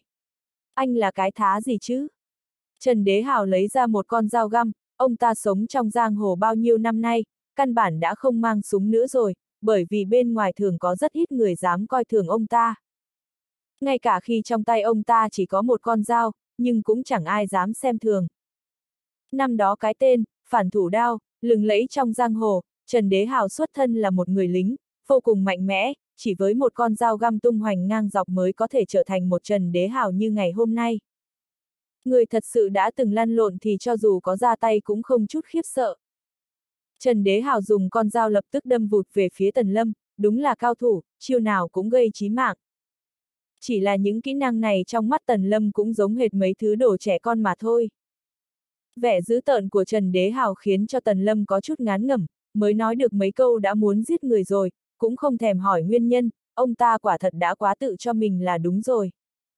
Nghĩ mình là ông chủ lớn nên có thể một tay che trời à. Lúc Trần Đế Hào phất tay qua, Tần Lâm nhanh chóng nắm chặt lấy cổ tay của ông ta rồi bóp thật mạnh. A! À, chịu một cơn đau như trời giáng, Trần Đế Hào lập tức buông ra, con dao liền rơi khỏi. Tần Lâm ngay lập tức giữ chặt, đè tay Trần Đế Hào áp xuống bàn, sau đó dùng dao đâm xuống. Phập! Trần Đế Hào kêu la thảm thiết, con dao xuyên thẳng qua mờ u côn tay của ông ta và đâm thẳng vào bàn trà bằng kính. Do tốc độ quá nhanh và lực quá mạnh, con dao đã đâm thẳng vào tấm kính, nhưng mặt kính của bàn trà lại không hề có bất kỳ vết nứt nào. Trần Đế Hào trực tiếp quỳ trên mặt đất, sắc mặt tái nhợt, toàn thân run rẩy. Ông ta nghiến chặt răng, nói với vẻ mặt dữ tợn. Mày muốn chết à? Nhìn thấy Trần Đế Hào bị Tần Lâm đánh, tất cả mọi người đều ngẩn ra, tưởng na na trợn tròn hai mắt, vẻ mặt không thể nào tin được. Họ Tần kia, mày xong đời rồi, lần này mày to chắc rồi. Sau khi tiếng hét Trần Đế Hào vang lên, ngay lập tức bên ngoài có nhiều người vây quanh anh. Chủ tịch Trần. Ngay khi mọi người bước vào đã thấy Trần Đế Hào bị đánh thành bộ dạng này, nhưng không ai dám manh động, tất cả cửa đều bị chặn lại, mười mấy tên vệ sĩ côn đổ vây quanh, tay cầm côn điện, trông vô cùng hung hãn. Trúc Linh Linh hết sức hoảng sợ, cô không ngờ mọi chuyện lại đến mức này, Trần Đế Hào, Viên Thiệu Cường, cả hai ông lớn ở tỉnh Lỵ đều bị Tần Lâm đánh bại. Viên Thiệu Cường đau đến mức nghiến răng nghiến lợi, nhưng khi nhìn thấy bộ dạng của Trần Đế Hào, khuôn mặt hắn bỗng lộ ra vẻ giễu cợt. Xong rồi, mày toi rồi. Đánh hắn thì không nói làm gì, nhưng Tần Lâm lại phế mất cánh tay của Trần Đế Hào, sợ là tên nhóc này đến chết toàn thây cũng không được nữa là. Ngay khi mọi người đang rằng co, đột nhiên có âm thanh phát ra từ phía cầu thang, nghe tiếng động thì chỉ ít cũng tầm hơn chục người. Hai mắt viên thiệu cường sáng lên, cứu tinh đến rồi. Tiếng một đám người ầm ầm chạy lên lầu, chẳng mấy chốc đã ập vào phòng bao, người đứng phía trước là một tên chọc. Tổng giám đốc viên, đã xảy ra chuyện gì thế? Cứu tinh vừa đến, đột nhiên viên thiệu cường phấn chấn trở lại, toàn thân không còn đau đớn, liền đứng dậy đi tới. Anh Toàn, anh Toàn cứu em, thằng nhóc này suýt nữa đánh chết em rồi. Còn có cả chủ tịch Trần nữa, tay của Trần Đế Hảo bị phế rồi. Đồng tử lão Toàn co lại khi nhìn thấy cảnh Trần Đế Hảo máu me be bét, đột nhiên biến sắc khi nhìn thấy tay của ông ta bị người ta đóng trên bàn trà. Ai lại có gan như vậy, dám động đến chủ tịch Trần và tổng giám đốc viên. Tôi. Tần Lâm đứng dậy với vẻ mặt lãnh đạm. Lão Toàn nhíu mày, quay đầu lại nhìn, sắc mặt đột nhiên thay đổi. Cậu Tần. Không thể nào ngờ được rằng kẻ đánh người khác ở quán karaoke lại chính là cậu Tần. Tần Lâm cũng không ngờ lại gặp người quen sớm đến vậy, lão toàn này chính là một người có năng lực ở cạnh lôi hồng. Vẻ mặt lão toàn chợt khó xử, đứng ở đó một lúc lâu nhưng không hề động đậy. Viên thiệu cường ngẩn ra, anh toàn, có chuyện gì vậy, anh mau ra tay đi, hắn suýt chút nữa đã giết em đấy. Trần Đế Hào cũng cau mày, nghiến răng nghiến lợi. Anh toàn, tay tôi cũng phế rồi, chẳng lẽ tình cảm bao năm qua, anh vẫn không giúp được tôi sao? Sắc mặt lão toàn vô cùng khó coi, hai vị, thật xin lỗi, không phải tôi không muốn giúp hai người, nhưng chuyện này phải hỏi ý chị Hồng đã. Hai người lập tức trao mày, anh Toàn, chuyện này mà cũng cần làm phiền đến chị Hồng sao? Lão Toàn không trả lời, sau đó lấy điện thoại ra gọi. Nhìn thấy thái độ của Lão Toàn, trong lòng cả hai có hơi lo sợ, Lão Toàn có mối quan hệ rất tốt với bọn họ, lúc ở tỉnh lỵ cũng thường hay tặng quà cho ông ta, mỗi năm Tết đến đều tặng một phong bao lì xì lớn, không ngờ lại xảy ra chuyện như vậy vào thời điểm quan trọng này. Chẳng lẽ, chẳng mấy chốc, Lão Toàn đã quay lại, sắc mặt trở nên vô cùng nghiêm trọng rồi nói. Hai vị, chị Hồng sẽ lập tức đến ngay. Vừa dứt lời, viên thiệu cường và Trần Đế Hào đều ngẩn ra, chị Hồng đích thân đến đây sao? Lôi Hồng là đại tỷ của cả tỉnh lỵ, bây giờ gần nhau là nhất tỷ của cả tỉnh lỵ, là một nhân vật lớn có sức ảnh hưởng, làm sao có thể đích thân đến đây được chứ? Trần Đế Hào và Viên Thiệu Cường, tuy hai người này cũng có chút thân phận và thực lực, nhưng cũng không thể nào lợi hại đến mức có thể kinh động đến lôi hồng được. Mọi người đều nhìn nhau rồi đồng loạt ở yên tại chỗ chờ, ngoài cửa có mấy chục tên bảo vệ, lại cộng thêm đám côn đồ dưới trướng của lão toàn nữa nên không ai dám manh động. Chẳng mấy chốc, bỗng có tiếng giày cao gót truyền đến, từng bước từng bước tiến vào phòng bao, cô ấy mặc đồ đen, tóc ngắn, dáng người thướt tha và đôi môi đỏ mọng lộ ra vẻ bá đạo. Vẻ mặt lạnh lùng xen lẫn chút ngang ngược, nhưng khi vừa đi vào, nhìn thấy Tần Lâm thì chợt nở nụ cười. Cậu Tần, thật sự vô cùng xin lỗi, tôi lại để cho mấy tên có mắt như mù này động phải cậu rồi, để tôi xử lý bọn chúng. Câu nói của chị Hồng khiến cả hai nhất thời run lẩy bẩy. Chị Hồng nói cái gì? Thứ có mắt như mù sao, động phải cậu Tần. Thứ có mắt như mù, lẽ nào là chỉ hai bọn họ? Trần Đế Hào nuốt nước bọt, con dao vẫn còn găm trên tay và cơn đau tiếp tục ập đến khiến sắc mặt ông ta tái nhợt. Chị Hồng, chị có ý gì đây? Trần Đế Hào cũng được coi là một thế hệ anh hùng kiệt xuất, nhưng so với Lôi Hồng thì ông ta vẫn còn kém xa. Lôi Hồng trực tiếp lấy ra khẩu súng lục đeo ngay eo, nhắm thẳng vào đầu Trần Đế Hào. Đi hỏi Diêm Vương đi. Nói xong, Lôi Hồng chuẩn bị bóp cò. Đợi một chút. Đột nhiên Tần Lâm lên tiếng. Lôi hồng nhất thời dừng lại, có chút khó hiểu, cậu Tần, ý cậu là. Tần Lâm nói, hai người này thật sự đã động phải tôi, nhưng không cần phải giết, giữ mạng bọn họ lại đi. Quả thật Trần Đế Hào và Viên Thiệu Cường cũng chẳng phải loại tốt đẹp gì, nhưng hai người này nếu giết thì cũng chẳng còn gì, cứ để bọn họ lại, biết đâu sau này còn có chỗ dùng đến. Lôi Hồng nói, cậu Tần, hai người này không phải là nhân vật đơn giản, hôm nay nếu để bọn họ đi, thì ngày mai đến lời tôi nói cũng không có tác dụng gì nữa. Lôi hồng chỉ có thể đàn áp bọn họ bây giờ là bởi vì bọn họ đang sợ hãi, hôm nay một khi được thả ra, hai người này nhất định sẽ muốn trả thù bằng mọi cách, lúc đó lời nói của lôi hồng cũng chẳng có tác dụng gì nữa. Tần Lâm nói, không sao, tôi tự có cách. Nói xong, Tần Lâm bước đến chỗ Trần Đế Hào, lạnh lùng nhìn ông ta. Muốn sống hay muốn chết? Trần Đế Hào nghiến răng, Ý của Tần Lâm đã vô cùng rõ ràng, nếu muốn chết thì anh có thể lập tức giúp ông ta toại nguyện. Còn nếu muốn sống thì phải bỏ ra chút gì đó. Hôm nay có thể coi là một tai họa không đáng có của Trần Đế Hào, vốn dĩ ông ta chỉ thấy có người gây chuyện ở chỗ mình liền muốn tự mình xử lý mà thôi, không ngờ lại phải gặp một chuyện khó nhằn như vậy. Lôi Hồng không hổ danh là một chị đại ở tỉnh lỵ, làm việc gì cũng rất dứt khoát, nếu không phải Tần Lâm ngăn cản sớm hơn một chút thì Lôi Hồng đã thực sự giết ông ta.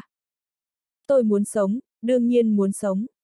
Tần Lâm nói, rất tốt, muốn sống à, phải trả giá đấy nhé. Nói xong, Tần Lâm lấy ra một cây kim bạc, sau đó đâm vào đỉnh đầu Trần Đế Hào. Ngay lập tức, đầu của Trần Đế Hào như muốn nổ tung, cảm giác như đang xuất hiện vô số vết nứt vậy, có thứ gì đó sắp bị đẩy ra. Vài giây sau, trên ấn đường của Trần Đế Hào xuất hiện một hột mụn nhỏ, nó hơi đỏ hơn màu da và trông hệt như mụn của tuổi dậy thì. Sau đó, Tần Lâm rút cây kim trên đỉnh đầu ra rồi nói. Một châm này gọi là thủ hồn châm, điểm này ở ấn đường của ông chỉ có tôi mới giải được, 6 tháng một lần, nếu không giải được trong vòng 6 tháng thì cơn đau sẽ tăng lên gấp 10 lần, đến cuối cùng ông sẽ chết, có hiểu chưa? Toàn thân Trần Đế Hào run lẩy bẩy, nghĩ đến cơn đau vừa rồi, đúng là sống không bằng chết. Thủ hồn châm vừa rồi đã lấy mất của ông ta nửa cái mạng, nếu còn gấp 10 lần thì thật không dám tưởng tượng. Hiểu hiểu, từ nay về sau tôi chỉ nghe theo mỗi mình cậu Tần.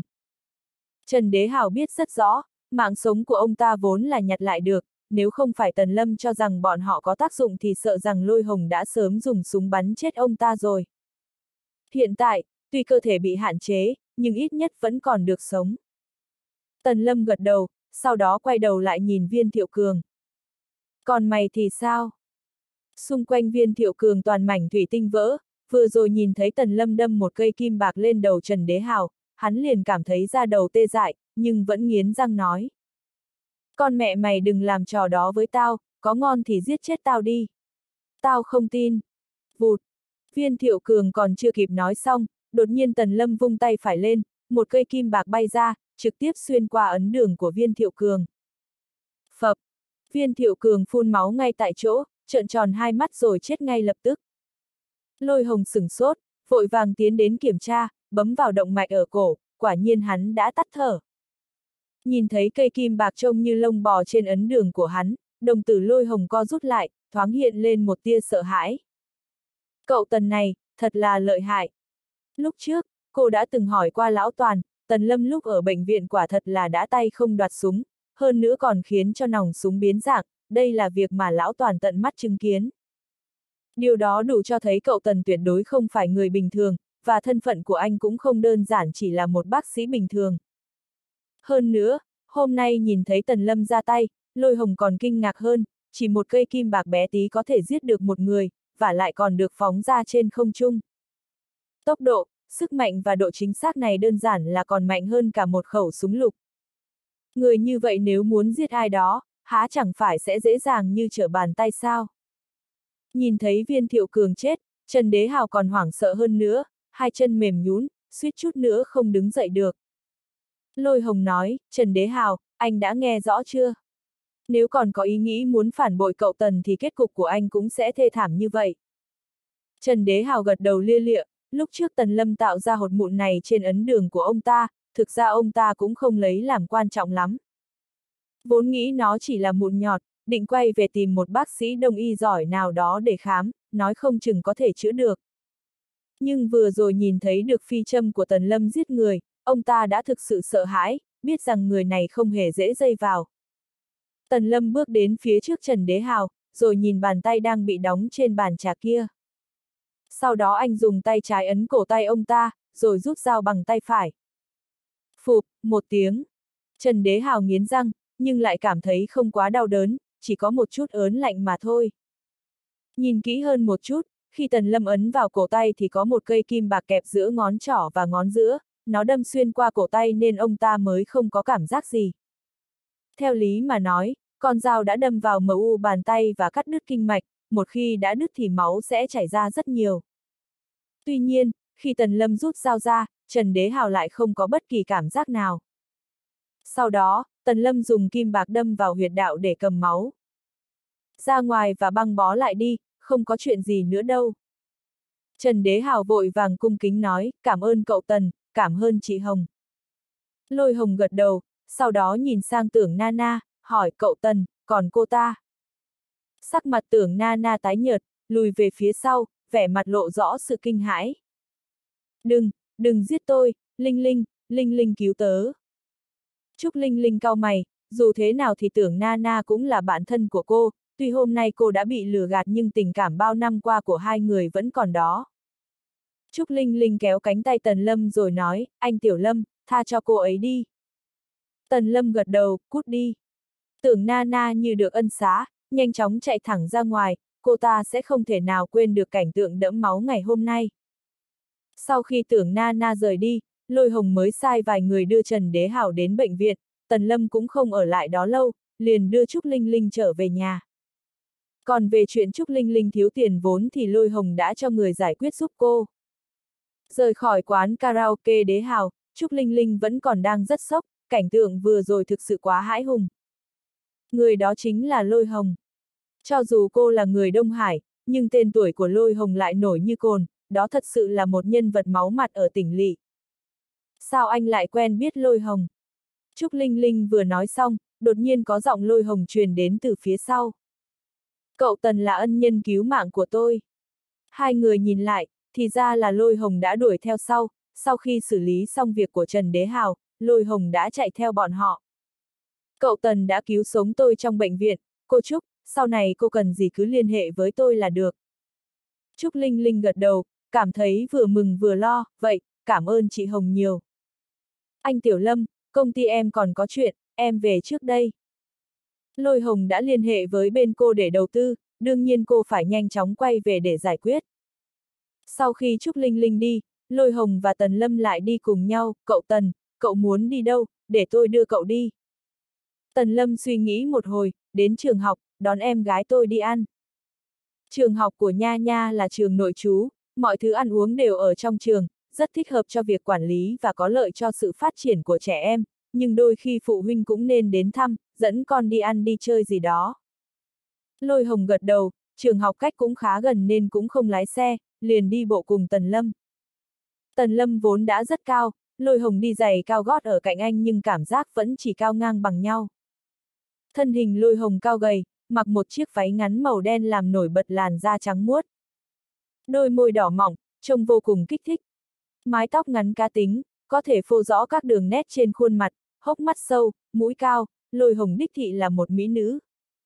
Trong số những người phụ nữ mà Tần Lâm quen biết, lôi hồng cũng tương đối lớn tuổi, năm nay vừa tròn 30, vô cùng quyến rũ, lại cộng thêm thân phận đặc biệt, nên càng khiến cho cô không giống những người phụ nữ khác. Lôi hồng đi theo Tần Lâm, trên người cũng mang theo vẻ ngạo nghễ, nhưng cô đã kiềm chế đi rất nhiều, nên chỉ trông giống như một quý phu nhân đi cạnh Tần Lâm mà thôi. Cậu Tần, tôi thấy cậu cũng rất giỏi võ, cậu học từ ai thế? Cuối cùng lôi hồng không nhịn được mà hỏi, võ công giỏi lôi hồng cũng đã thấy nhiều, nào là đặc chủng binh, lính đánh thuê, sát thủ hàng đầu. Nhưng đây là lần đầu tiên cô thấy một người vừa có thể giết người cũng vừa có thể cứu người như Tần Lâm đây. Tần Lâm cười nói, nói ra có thể không tin, trước đây chắc chỉ có xem qua tin tức chứ, nói cho mọi người tin rằng ông lão đạo trưởng khoa học kia chính là sư phụ của tôi. Lôi hồng sững ra một lúc. Ban đầu đoạn video Diệp Hiên Viên nhảy xuống từ tòa nhà cao 100 mét được truyền khắp cả nước, Lôi hồng đương nhiên đã nghe qua chuyện này vài lần, nhưng cô hoàn toàn không để ý đến. Bởi vì thứ đó không thể nào tồn tại được, chắc chắn là giả, hoặc là hậu kỳ chỉnh sửa, hoặc là hiệu ứng đặc biệt của phim dùng để thu hút sự chú ý của mọi người để tăng lượng truy cập, vậy nên lôi hồng mới không thèm để ý đến. Nhưng khi nghe Tần Lâm nói vậy, cô đột nhiên có chút kinh ngạc. Cậu Tần, chẳng lẽ, sư phụ của cậu có năng lực nhảy từ độ cao 100 mét sao? Ở độ cao 100 mét, một khi nhảy xuống thì cho dù có là sắt cũng sẽ bị biến dạng, huống chi là người. Người bình thường có sức khỏe tốt được huấn luyện thường xuyên như bộ đội đặc chủng hay lính cứu hỏa, cùng lắm chỉ nhảy được độ cao hơn chục mét, về cơ bản trên 20 mét là rất khó để đảm bảo an toàn. Còn ông cụ nhảy lầu 30 vẫn bình an vô sự, người như vậy thật sự tồn tại sao? Tần Lâm mỉm cười, chắc là có. Thực lực của Diệp Hiên Viên đến đâu, ngay cả Tần Lâm cũng không biết rõ, khi còn bé anh đã đánh nhau với ông cụ suốt ngày, nhưng lần nào cũng bị đánh bại. Dần dần Tần Lâm ít bị đánh hơn, thỉnh thoảng vẫn có thể đánh lại, nhưng cuối cùng vẫn cứ thua ông cụ. Vậy nên Tần Lâm chỉ có thể miêu tả sức mạnh của Diệp Hiên Viên bằng cụm từ, thâm sâu khó lường, mà thôi. Nhảy từ độ cao 100 mét, Tần Lâm cũng có thể làm được, nhưng không thể nào dễ dàng bình tĩnh được như Diệp Hiên Viên. Hai người vừa đi đến trường vừa nói chuyện phiếm, sau khi liên hệ với bên trường học, hiệu trưởng đã đích thân đưa Tần Nha Nha ra ngoài. Cậu Tần, biểu hiện của Nha Nha ở trường vô cùng tốt, cô bé rất hòa hợp với các bạn cùng lớp, các giáo viên cũng rất thích cô bé. Bất luận là thật hay không, nhưng ở trước mặt Tần Lâm, hiệu trưởng phải nói những câu tốt đẹp. Tần Nha Nha cũng rất vui vẻ khi nhìn thấy Tần Lâm, cô bé cười khúc khích, chào anh. Nhìn thấy Tần Nha Nha trắng trẻo mập mạp, thần sắc vô cùng tươi tắn, Tần Lâm liền tỏ ra hài lòng. Tốt lắm, mọi người cực khổ rồi. Cậu Tần đừng nói vậy mà, có gì đâu mà cực khổ, ha ha, cậu đi thong thả nhé. Tần Nha Nha vô cùng vui vẻ nắm lấy tay Tần Lâm, từ nhỏ đến lớn chẳng có ai quan tâm cô bé, đi đâu cũng bị ghét, bị người ta đá đi như một quả bóng vậy. Bây giờ cuối cùng cô bé đã có người thân, hơn nữa lại còn được đi học, đó thực sự là điều hạnh phúc nhất. Anh ơi, chị gái này đẹp quá đi, là chị dâu sao? Tần Nha Nha nhìn lôi hồng một hồi lâu, không chút ngại ngùng hỏi, cô bé nhìn trộm lôi hồng mấy lần, cảm thấy chị gái này quá đẹp, hơn nữa lại rất có khí phách. Khi Tần Nha Nha vừa dứt lời, lôi hồng lập tức đỏ mặt, da cô vốn đã trắng, vậy nên khi mặt đỏ lên rất dễ nhận ra. Lôi hồng mỉm cười, nhưng không nói tiếng nào. Tần Lâm xoa đầu Tần Nha Nha, đây là bạn của anh, sau này em cứ gọi là chị Lôi hoặc chị Hồng là được. Ồ, em biết rồi. Mặc dù đã đón xong Tần Nha Nha, nhưng Lôi Hồng lại không hề có ý định rời đi, cô muốn cùng Tần Lâm trò chuyện một chút, anh cũng không từ chối. Ba người đi được một lúc, Tần Nha Nha nhìn thấy một quầy kem ven đường, không kìm được nuốt nước bọt một cái, Tần Lâm cũng bất lực lắc đầu. Em còn nhỏ, sức khỏe lại không quá tốt, không thể ăn mấy thứ quá lạnh được. Vì là đông y, nên Tần Lâm rất coi trọng việc giữ gìn sức khỏe, đặc biệt là cơ thể Tần Nha Nha lại không hề khỏe, từ nhỏ đến lớn đã không đủ dinh dưỡng, vậy nên mới phải hạn chế ăn đồ lạnh. Lôi hồng mỉm cười, ăn một cái chắc không sao đâu nhỉ. Để chị mua cho. Tần Nha Nha cười ngọt ngào, chị lôi thật tốt, nếu chị là chị dâu của em thì càng tuyệt hơn nữa. Lôi hồng lại ngượng ngùng, trên mặt cô còn chưa hết ửng hồng thì bây giờ màu sắc lại đậm hơn chút nữa. Tần Lâm bất lực lắc đầu, đành chịu thôi. Tần Nha Nha vừa cầm kem trên tay, đột nhiên cách đó không xa truyền đến một âm thanh rất nhỏ, cả hai người Tần Lâm và Lôi Hồng cùng lúc ngẩng đầu lên, nhìn về phía rừng cây bên cạnh. Có người. Lôi Hồng hơi kinh ngạc, sở dĩ nhìn thấy có người là bởi vì cô luôn cảnh giác. Trong khoảng thời gian này thường xuyên có người theo dõi cô, Lôi Hồng vẫn luôn duy trì sự cảnh giác này, hơn nữa người đó ở cách đây không xa, cho nên chỉ cần một động tĩnh nhỏ cũng đủ để cô phát hiện ra. Nhưng thật kinh ngạc khi Tần Lâm lại có phản ứng như vậy. Bọn họ đang ở trong một công viên, bên trái có hồ nước, bên phải có rừng cây, trên đường có thưa thất người đi bộ, có một số người bán kem và kẹo bông gòn, ngoài ra chẳng còn ai khác. Nhưng Tần Lâm chỉ nhìn qua một lượt, cảm thấy chẳng có chuyện gì quan trọng, trong rừng có người là chuyện hết sức bình thường. Tần Nha Nha cẩn thận cầm cây kem trên tay, đưa đầu lưỡi nhỏ liếm một miếng, trên mặt lộ vẻ vô cùng thỏa mãn. Ngon quá đi. Tần Lâm mỉm cười, ngon thì cũng không được ăn nhiều đâu đấy. Bản thân anh cũng không ngờ rằng mình lại có ngày làm nhảm nhiều như vậy, cấm một cô bé ăn kem sao. Ngay khi Tần Nha Nha vừa liếm đến lần thứ hai, đột nhiên từ trong rừng cây có một bóng người lao ra, người đàn ông đó mặc quần áo rằn di, trong tay cầm một lưỡi lê ba cạnh, nhảy vọt ra như một con thỏ, xông thẳng về phía lôi hồng. Cạch! Lôi hồng rút súng ra ngay lập tức, nhưng vẫn chưa kịp bóp cò thì lưỡi lê đã đâm thẳng đến, cạch một tiếng, ngay lập tức làm rơi khẩu súng lục trên tay lôi hồng.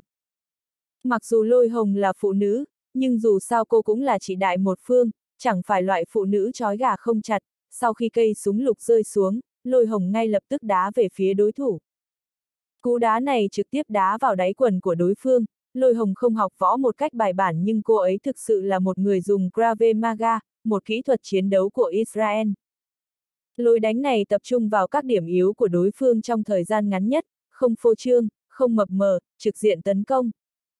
Người mặc quân phục rằn di xoay người, cú đá của lôi hồng trực tiếp đá thẳng vào mặt ngoài đùi, nhưng hắn không hề bị thương, chỉ mất đà lùi về sau vài bước. Sau đó, hắn ta ngẩng đầu lên, lộ ra một khuôn mặt u ám đầy vết sẹo. Chị Hồng, quả là danh bất hư truyền. Khi lôi hồng nhìn thấy người này, đồng tử đột nhiên co rút lại. Diêm Vương. Không ai biết tên thật của người trước mặt, nhưng hắn có một cái tên rất vang dội trong giới sát thủ, đó chính là Diêm Vương. Diêm Vương nếu muốn giết lúc canh ba thì ai dám giữ đến canh năm chứ? Nếu là sát thủ, còn dám đặt tên Diêm Vương, đó nhất định là người có bản lĩnh.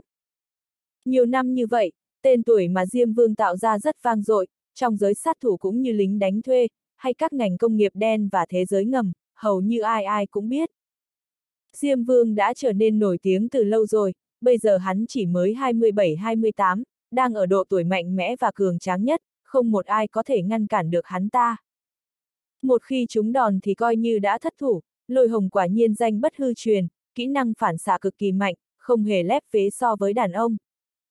Trên mặt Diêm Vương lộ ra tia giễu cợt, chị Hồng, thực sự xin lỗi, có người muốn mua tính mạng của chị với giá cao, tôi đã đồng ý rồi. Hai mắt lôi hồng nheo lại, vẻ mặt chợt trở nên khó coi. Tên Diêm Vương này rất nguyên tắc, hoặc hắn không nhận, và một khi đã nhận thì hắn ta tuyệt đối sẽ không hối hận. Và quan trọng nhất là hắn chưa bao giờ thất bại khi đơn hàng đã được đặt. Phàm là những người được hắn ta đưa vào danh sát đều bị ám sát thành công, không một ai có thể sống sót. Mặc dù hôm nay đã đánh trượt một đòn, nhưng rõ ràng Diêm Vương vẫn chưa ra tay và muốn đánh phủ đầu. Lôi hồng dù có thực lực đến đâu cũng không thể nào hơn sát thủ chuyên nghiệp được, hôm nay chắc chắn hắn sẽ lấy mạng cô. Sắc mặt lôi hồng vô cùng khó coi, liền nói với Tần Lâm. Cậu Tần, chuyện này không liên quan đến cậu, cậu mau đưa con bé đi trước đi. Diêm Vương cũng không từ chối, mục đích của hắn là giết lôi hồng, theo lý mà nói Tần Lâm đã nhìn thấy hắn, hắn nên giết luôn một lúc mới phải, nhưng vì mục đích an toàn của bản thân nên cứ để người không liên quan đi thì hơn. Xong, lúc này Tần Lâm không hề rời đi, hơn nữa còn đứng ở đó nhìn Tần Nha Nha. Ngay lúc Diêm Vương lao ra, Tần Nha Nha giật nảy mình khiến cây kem trong tay rơi xuống đất.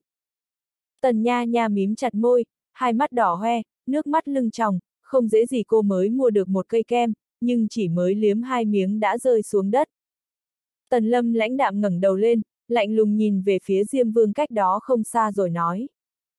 Mày, làm rơi kem của em gái tao rồi. Diêm Vương sững ra một lúc rồi cười chế nhạo. Cái gì, tao cho mày cơ hội rời đi nhưng mày vẫn không chịu đi sao? Tao nói cho mày biết, mày chỉ có một cơ hội duy nhất mà thôi, đừng mong một sát thủ như tao sẽ có sự đồng cảm. Ý tứ trong lời nói của Diêm Vương rất rõ ràng, đừng tưởng rằng cứ mang theo một đứa trẻ thì hắn sẽ tha cho anh, nếu đã làm ngành này, độc ác tàn nhẫn là điều tất yếu, đương nhiên hắn cũng sẽ không bỏ qua cho trẻ con. Hôm nay hai người này khá may mắn, được hắn cho cơ hội rời đi, nếu như không muốn đi thì hắn cũng không ngại giết luôn một thể. Diêm vương nói xong, tần lâm tiến lên mấy bước, ánh mắt vẫn lạnh lùng. Mày làm rơi kem của em gái tao rồi. Diêm vương lộ ra vẻ giễu cợt, không ngờ mày lại có gan đến vậy. Mày còn trẻ mà mang theo trẻ con như thế, vốn tao đã muốn tha cho mày, nếu như mày đã không biết điều thì tao sẽ tiền cả mày và lôi hồng đi gặp Diêm Vương luôn cả thể.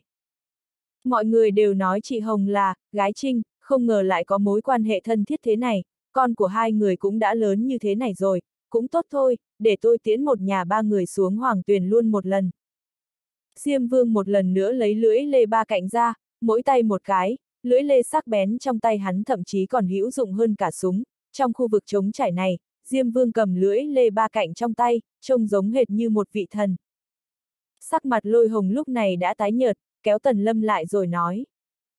Cậu Tần, cậu mau đi trước đi, chuyện này không liên quan đến cậu. Tần Lâm không những không lùi bước, mà còn tiến đến, áp sát Diêm Vương, sau đó lạnh lùng nói. Mày làm rơi kem của em gái tao rồi, mày không nghe thấy sao? Xin lỗi em gái tao mau. Diêm Vương cau mày, hừ lạnh một tiếng. Đúng là thứ không biết điều, nếu mày đã muốn chết như vậy thì tao sẽ cho mày toại nguyện.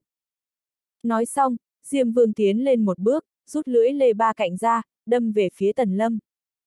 Trình độ của Diêm Vương chắc phải đè bẹp được không ít người, như thân thủ của Lôi Hồng hay Trần Đế Hào thì một lời không thể nào diễn tả hết được. Bù! Nhát đâm này còn có cả tiếng gió, Tần Lâm nghiêng đầu né, dễ dàng tránh được. Diêm Vương xoay cổ tay lại, lưỡi lê ba cạnh liền được kéo về. Đây là sự huyền diệu của lưỡi lê ba cạnh, lần đầu không chúng vẫn có thể đánh lại lần nữa, ngay cả cao thủ cũng khó tránh khỏi. Tuy nhiên, Tần Lâm đột nhiên đưa tay ra, đấm thẳng vào nách của Diêm Vương, làm cho sức lực cánh tay hắn giảm bớt, sau đó Diêm Vương cảm thấy vô cùng đau đớn, lưỡi lê ba cạnh đã ngay lập tức rơi xuống đất. Sau đó, Tần Lâm đưa tay ra, trực tiếp nắm lấy cổ của Diêm Vương, đây chính là chiêu khống chế mà anh thích nhất, từ từ bóp chặt yết hầu hắn. Tao nói lại một lần nữa, mày làm rơi kem của em gái tao rồi, xin lỗi mau. Diêm Vương cảm thấy hoang mang, kem. Kem của con bé đó. Căn bản hắn không hề để ý tới. Tần Lâm đã nói ba lần liên tiếp, nhưng hắn không thèm để tâm, hắn cũng không thể nào tưởng tượng ra rằng Tần Lâm lại ra tay chỉ vì cây kem của một cô bé. Diêm vương đường đường là vua của sát thủ, nhưng trong mắt Tần Lâm chỉ là người qua đường mà thôi, nếu không phải hắn dọa Tần Nha Nha sợ đến mức làm rơi kem thì có lẽ Tần Lâm cũng chẳng thèm chú ý đến hắn ta làm gì. Diêm vương cảm thấy đây là sự xúc phạm lớn nhất đối với hắn ta từ trước đến nay. Mày muốn chết à? Hắn bị bóp cổ, nhưng vẫn nghiến răng để thốt ra từng chữ một. Sau đó, hắn lấy hai tay nắm chặt cánh tay Tần Lâm, rồi lấy hai gót chân va vào nhau, cạch một tiếng, một lưỡi kiếm sắc nhọn dài 3cm bật ra khỏi bàn chân phải của hắn. Diêm vương đá vào người của Tần Lâm, hắn là một sát thủ chuyên nghiệp nên trên người sẽ đầy vũ khí, trên con dao nhỏ này có độc, nếu đụng vào sẽ chết. Trên mặt Tần Lâm thoáng vẻ giễu cợt, anh đã gặp qua nhiều người như vậy, nhưng người có thể phản kháng một lúc với anh, cũng chỉ có Diêm Vương mà thôi. Tần Lâm đột nhiên đè cánh tay xuống. Phập! Diêm Vương giống hệt một con gà trong tay Tần Lâm, rắc rắc, hai tiếng liền bị đập xuống đất, hai chân hắn đau dữ dội, lập tức bị gãy. Lưỡi kiếm tẩm độc cũng trực tiếp bị cắm xuống đất. A! À, Diêm Vương hét lên thảm thiết, vẫn không thể tin được sức mạnh của Tần Lâm lại đáng sợ đến vậy. Tao cho mày thêm một cơ hội nữa, xin lỗi em gái tao mau. Xin, xin lỗi, tôi có tiền, để tôi mua lại. Dù xương có cứng đến đâu cũng không thể chịu được sự đau đớn của tứ chi bị gãy, Diêm Vương nghiến răng lấy ví tiền vứt ra ngoài. Lúc này Tần Lâm mới buông cổ hắn ra, sau đó đè xuống hai vai hắn. Rắc rắc, hai tiếng, xương vai của Diêm Vương lập tức vỡ nát. Thực lực của Tần Lâm không có gì đáng nghi ngờ, nếu anh đã tự tay bóp thì ngoài anh ra, không ai có thể chữa được. Tay chân Diêm Vương bị phế, hắn nằm liệt hoàn toàn dưới đất, hệt như một xác chết, vẻ mặt xám xịt, ánh mắt tuyệt vọng. Lôi hồng nhìn thấy cảnh tượng trước mắt, trong lòng vừa lo lắng vừa hoảng sợ. Cậu Tần thật quá lợi hại rồi, một nhân vật như Diêm Vương mà anh ra tay còn không đến hai chiêu. Nếu Tần Lâm trở thành sát thủ thì nhất định sẽ đứng đầu. Nhưng anh không làm là bởi vì anh không thèm để mắt tới. Danh hiệu anh chẳng hề xem trọng cái danh hiệu, sát thủ hàng đầu. Lôi hồng bình tĩnh lại một lúc, sau đó nhanh chóng bước đến hỏi Diêm Vương, nhưng tiếc là tứ chi Diêm Vương không thể động đậy được nữa, nhưng cổ có thể, vừa hay lưỡi lê ba cạnh lại nằm sát bên, hắn nghiêng đầu, lập tức đâm thẳng vào tự sát. Lôi hồng thở dài, sợ là sẽ không hỏi ra được ai là người thuê. Cậu Tần, chuyện hôm nay may là nhờ có cậu, ân tình này tôi xin ghi nhớ. Chị Hồng không cần khách khí. Lôi Hồng suy nghĩ một hồi rồi cúi đầu đỏ mặt. Cậu Tần đừng có lúc nào cũng gọi chị Hồng như thế, nghe xa lạ quá, nếu cậu không chê. Thì cứ gọi tôi Tiểu Hồng là được. Được. Cậu Tần, tôi không tiễn nữa nhé, tôi xử lý việc này một chút. Tần Lâm gật đầu rồi lập tức đưa Tần Nha Nha rời đi, sau đó quay lại mua một cây kem, Nha Nha liền vui vẻ trở lại. Anh chơi với Nha Nha cả buổi chiều, sau đó tiếc nuối đưa cô bé quay về trường học.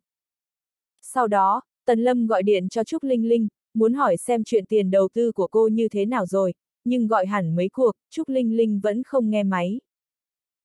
Tần Lâm cau mày, trực tiếp kiểm tra định vị đồng hồ của Trúc Linh Linh thì thấy cô đang ở nhà, thật là may, Tần Lâm thở phào nhẹ nhõm, sau đó đến thẳng nhà Trúc Linh Linh. Lúc này, nhà họ Trúc vô cùng bận bịu, Trúc Linh Linh đang ngồi trên ghế sofa, nghe Vương Vân nói không ngừng. Linh Linh, con có biết ngày mai chúng ta mời những người đó đều là nhân vật lớn không hả, tại sao con không thể đi? Trúc Linh Linh không nói nên lời, mẹ, rõ ràng mẹ biết nhà họ tạ có ý gì với con mà, mẹ còn muốn con đi sao, chẳng phải vậy là để con nhận lời bọn họ chứ? Không biết Vương Vân ở đâu quen được một doanh nhân họ tạ giàu có ở tỉnh Lị, ở nhà có một thiếu gia trạc tuổi Trúc Linh Linh. Dưới sự mai mối của Vương Vân, vị tạ thiếu gia tạ Hoa Cường này đã đến nhà bọn họ một lần, sau khi nhìn thấy Trúc Linh Linh, vẻ mặt của anh ta như thể chư bát giới nhìn thấy hằng Nga vậy. Tạ Hoa Cường này là một thiếu gia quần áo lụa là, cả ngày chỉ có lướt điện thoại, xem TikTok, xem mỹ nữ Livestream, sau đó donate và làm trò để dụ người ta thuê phòng, hoặc nếu không sẽ quẩn quanh các câu lạc bộ, đó chính là một tên rách việc điển hình.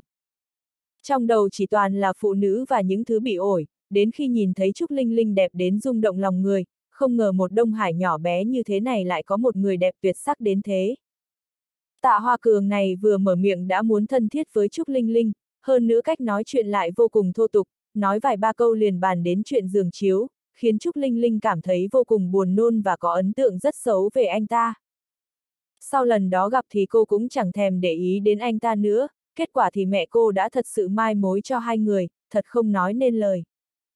Vương Vân chừng mắt nhìn cô, không phải đàn ông đều có cái tính đó sao, nếu như không háo sắc thì phụ nữ cần phải trang điểm làm gì chứ?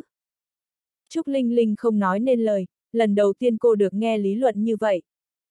Mẹ, mẹ có biết không, con nghe nói anh ta là khách quen của câu lạc bộ thái nghệ đó, chỗ đó là gì chắc mẹ cũng biết đúng không? Mẹ còn muốn làm mai con cho anh ta sao? Con có thể gả cho loại người như vậy ư? Câu lạc bộ Thái Nghệ là một khu vui chơi nổi tiếng dành cho nam giới, đương nhiên những phú bà như Vương Vân đều biết rất rõ. Vương Vân cau mày, nói. Con đẹp hơn mấy đứa ở câu lạc bộ đó nhiều chứ. Nếu lấy con rồi thì cậu ấy sẽ không đi đến những nơi như vậy nữa đâu. Hơn nữa, đàn ông khi kết hôn sẽ ổn định hơn một chút, ai mà chẳng mắc sai lầm, và lại con cho rằng chỉ có mỗi tạ thiếu ra đi sao. Tên tần lâm đó cũng lén đi thôi không phải sao. Trúc Linh Linh cau mày, mẹ đừng nói lung tung nữa, anh Tiểu Lâm làm sao có thể đi đến những chỗ đó chứ? Vương Vân cười khẩy, mẹ biết ngay là con sẽ không tin mà, đến đây, mẹ cho con xem một video. Nói xong, Vương Vân lấy điện thoại ra, mở một đoạn video rồi đưa cho Trúc Linh Linh. Trong video là hình ảnh Tần Lâm bước vào câu lạc bộ Thái Nghệ. Tuy chất lượng hình ảnh không được rõ ràng lắm, nhưng có thể thấy rõ người bước vào chính là Tần Lâm. Đoạn video này không phải được quay một cách cố ý, mà là một người phụ nữ đang quay một vụ tai nạn giao thông, Tần Lâm chỉ bị dính vào trong đó mà thôi. Sắc mặt Trúc Linh Linh trở nên hơi khó coi, anh Tiểu Lâm sao có thể đến những nơi như vậy chứ? Trong ấn tượng của cô thì Tần Lâm không phải loại người như vậy. Đương nhiên Trúc Linh Linh không hề biết lần đó Tần Lâm đến câu lạc bộ Thái Nghệ không phải để vui chơi, mà là đi giết người. Đám ông lớn xã hội đen ở tỉnh Lỵ đã chết trên giường ở câu lạc bộ Thái Nghệ, kể từ ngày hôm đó, câu lạc bộ Thái Nghệ đã đóng cửa, còn Lôi Hồng đã chính thức trở thành ông chủ mới ở đó. Trên mặt Vương Vân lộ ra vẻ giễu cợt, thứ bà muốn chính là kết quả này. Đoạn video này có trong nhóm chat với bạn bè của bà ấy, bọn họ vô tình nhìn thấy Tần Lâm, thật không ngờ cậu nhóc này cũng giống như những tên đàn ông khác, lại thích đến nơi đó. Vương Vân vẫn luôn giữ đoạn video này để tìm cơ hội cho Trúc Linh Linh xem, để Trúc Linh Linh có thể hoàn toàn từ bỏ Tần Lâm. Trúc Linh Linh quả thực cảm thấy hơi không thoải mái, tại sao anh Tiểu Lâm lại đi đến mấy chỗ tạp nham này chứ? Nhưng nói đi cũng phải nói lại, hiện tại Tần Lâm vẫn còn độc thân, bọn họ cũng chưa chính thức thiết lập mối quan hệ, vậy Trúc Linh Linh có tư cách gì để quản chứ? Mặc dù Trúc Linh Linh cảm thấy khó chịu nhưng cô không hề lên tiếng. Vương Vân nói, thôi được rồi, hôm nay cũng đâu phải có mỗi mình con xem mắt, ngoài tạ thiếu ra ra thì còn có mấy nhân vật lớn nữa, con kết giao một chút đi, biết đâu sau này sẽ giúp ích cho sự nghiệp của gia đình thì sao. Bây giờ Trúc Linh Linh đã hoàn toàn thoát khỏi nhà họ Trúc, các mối quan hệ trước đây của bà cụ cũng không dùng được nữa rồi, vậy nên sự nghiệp mới có phần xa sút Trúc Linh Linh hiện đang cần gấp một ít mối quan hệ đáng tin cậy, vì vậy cô vẫn phải đi đến bữa ăn lần này. Vậy con nói rõ rồi nhé, chỉ bàn chuyện làm ăn. Con cứ yên tâm đi. Ngay lúc gia đình Trúc Linh Linh đi ra ngoài thì Tần Lâm bước vào. Nhìn thấy Tần Lâm, sắc mặt Trúc Linh Linh có hơi thay đổi, nghĩ đến cảnh anh đi vào câu lạc bộ vừa rồi liền khiến cô cảm thấy khó chịu, nhưng cô đã nhanh chóng bình tĩnh trở lại rồi nói anh Tiểu Lâm đến rồi à. Mặc dù trước đó vẫn là chào hỏi như vậy, nhưng hôm nay Tần Lâm cảm thấy thái độ của Trúc Linh Linh có hơi lạnh nhạt, anh cũng không biết tại sao. Linh Linh, anh gọi điện cho em nhưng em không nghe máy, nên anh mới qua xem thử. Trúc Linh Linh sững ra một lúc, sau đó lấy điện thoại ra, thấy có vài cuộc gọi nhớ, vừa rồi nói chuyện nên cô đã lỡ tay bật chế độ im lặng. Anh Tiểu Lâm phải thông qua vị trí của đồng hồ mới tìm đến đây, vì sợ cô gặp nguy hiểm. Nghĩ đến đây, trong lòng Trúc Linh Linh vẫn cảm thấy có chút ấm áp, đàn ông đều phạm phải sai lầm như vậy, hơn nữa giữa hai người vẫn còn một tấm giấy vẫn chưa phá bỏ được, nên không thể trách anh hoàn toàn được. Anh Tiểu Lâm, em không sao, vừa hay em có hẹn đi ăn, anh đi cùng em nhé. Được. Vương Vân cong môi, đúng là âm hồn bất tán, được thôi, cậu đi cũng được, vừa hay để làm cho cậu bỏ cuộc, để cậu chứng kiến xem cái người ta hay gọi là, Long Phụng. Vương Vân chừng mắt nhìn Tần Lâm, sau đó tức giận bước ra ngoài. Trong mắt bà thì tạ Hoa Cường vẫn hơn anh gấp nhiều lần, cho Tần Lâm thấy được sự giàu có để anh từ bỏ, đừng dây dưa với Linh Linh nữa. Cả gia đình lái xe đến nhà hàng, sau đó đi vào phòng riêng, trước tiên bọn họ gọi món, khoảng nửa tiếng sau tạ thiếu gia mới thong dong đến muộn. Tạ Hoa Cường mặc áo sơ mi trắng với quần tây, lộ ra chiếc thắt lưng Hermes cao cấp, làn da của anh ta trắng bạch, quầng thâm rất nặng, da lại hơi nhờn. Là một bác sĩ đồng y, Tần Lâm có thể nhìn ra được tạ Hoa Cường này sống rất buông thả, sức khỏe vô cùng kém, có lẽ anh ta đã lãng phí quá nhiều tinh lực lên phụ nữ. Linh Linh, mọi người đến rồi à? Tạ Hoa Cường nhìn thấy Trúc Linh Linh, hai mắt chợt sáng lên, cho dù anh ta có vô số phụ nữ nhưng vẫn cảm thấy Trúc Linh Linh mới chính là cực phẩm. Thật tốt nếu có thể cưới được cô. Sau khi ngồi xuống, Tạ Hoa Cường nhìn Tầm Lâm rồi cau mày lại. Đây là vệ sĩ, thư ký hay là tài xế? Sao lại ngồi cùng bàn chứ? Tạ Hoa Cường nói với thái độ kiêu ngạo, coi thường người khác. Vương Vân cười khẩy rồi nói, đây là người theo đuổi con gái tôi. Vương Vân cũng không giới thiệu Tần Lâm hẳn hoi bởi vì anh chẳng có gì đáng để giới thiệu, một tên thiếu gia xa sút ngoài một căn nhà ra thì chẳng có gì hết. Tạ Hoa Cường cười khẩy, người theo đuổi Linh Linh. Xin hỏi cậu là loại cóc ghẻ nào vậy? Ha ha ha. Tạ Hoa Cường cười bất lực, đúng là ai cũng dám theo đuổi tiểu thư con nhà giàu, trông cậu giống như sinh viên đại học vừa mới tốt nghiệp, đang làm công việc gì hay là lại ăn bám. Tạ Hoa Cường mở miệng ra là chế giễu người khác, Trúc Linh Linh bực bội cau mày lại. Anh Tiểu Lâm là bác sĩ, là thần y. Trúc Linh Linh nhấn mạnh thân phận của Tần Lâm, nâng cao vị thế của anh để tránh tên Tạ Hoa Cường lại chế giễu. Bác sĩ, ha ha. Tuy nhiên cái thân phận bác sĩ không hề khiến Tạ Hoa Cường coi trọng Tần Lâm. Bây giờ bác sĩ và nhân viên phục vụ có gì khác nhau chứ, đều là ngành phục vụ, chỉ đủ để chăm lo nuôi dưỡng cho gia đình, cho dù phát triển thế nào cũng chỉ là dân thường thôi. Dân thường thì nên tìm bạn gái bình thường thôi, không nghe đến câu môn đăng hộ đối sao. Một người bác sĩ như cậu cũng đòi theo đuổi Linh Linh, đúng là không biết tự lượng sức mình. Tạ Hoa Cường nói hai câu thì đúng lúc đồ ăn được bưng lên. Vương Vân vội rót rượu cho tạ Hoa Cường, dáng vẻ nịnh bợ. Tạ thiếu gia nói đúng, phải môn đăng hộ đối mới được, nhà họ Trúc chúng tôi cũng khá hợp với nhà họ tạ. Dù sao cũng muốn cưới Trúc Linh Linh nên tạ Hoa Cường rất khách khí. Dì Vương ngồi đi ạ, để cháu rót rượu. Nói xong, tạ Hoa Cường sắn tay áo để lộ ra chiếc đồng hồ màu xanh lá vô cùng lấp lánh, thu hút ánh mắt của mọi người. Chiếc đồng hồ của tạ thiếu gia đẹp thật đấy, là của hãng nào vậy? Tạ Hoa Cường cười, cái này á, Rolex Submariner Green, hàng limited, cũng có nhiều đâu, tầm mấy trăm nghìn tệ thôi. Đồng hồ Rolex Submariner bình thường nhất tầm 7-80 nghìn tệ, còn cái của tạ Hoa Cường có dây đeo bằng vàng nguyên chất, giá tầm 500 nghìn tệ, được coi là hàng xa xỉ cao cấp. Qua, wow, Vương Vân cố ý lộ biểu cảm khoa trương, đồng hồ 500 nghìn tệ, nhiều tiền thật đấy, có điều tôi cảm thấy người đàn ông trưởng thành nên sở hữu một chiếc đồng hồ đắt tiền, chứ không thể hơn 20 tuổi rồi mà vẫn đeo đồng hồ dởm được đúng không? Vương Vân nói xong, cố ý lướt nhìn về phía Tần Lâm. Tạ Hoa Cường cũng đưa mắt qua đó, nhìn thấy chiếc đồng hồ mà Tần Lâm đeo. Cùng là đồng hồ vàng, trông khá giống với cái của Tạ Hoa Cường. Lẽ nào cậu cũng thích Rolex hả? Cậu đeo loại nào vậy? Tần Lâm cúi đầu nhìn rồi lắc đầu, không biết. Khi xuống núi chữa bệnh, bệnh nhân đã tặng chiếc đồng hồ này, Tần Lâm đeo để xem giờ, cảm thấy khá tiện, cụ thể là loại nào anh cũng không để ý lắm. Đối với Tần Lâm mà nói, đồng hồ dùng để xem giờ chứ không phải để khoe mẽ. Tần Lâm quay cổ tay ra, tạ Hoa Cường nhìn rõ mặt đồng hồ của anh. Mặc dù cùng là Rolex, nhưng mặt đồng hồ của anh không phải là màu xanh lá mà là xanh nước biển. Tạ Hoa Cường cười, này cậu Tần, cậu không mua nổi thì thôi, sao lại mua Rolex phách chứ? Chẳng phải sẽ khiến người ta chê cười sao? Vương Vân thấy thế liền hùa theo, là hàng phách sao? Tạ thiếu ra đúng là hiểu biết nhiều, tôi thấy giống nhau mà. Tạ Hoa Cường nói, dì Vương, dì nhìn chiếc đồng hồ cháu đeo đi, đây là Rolex Submariner Green.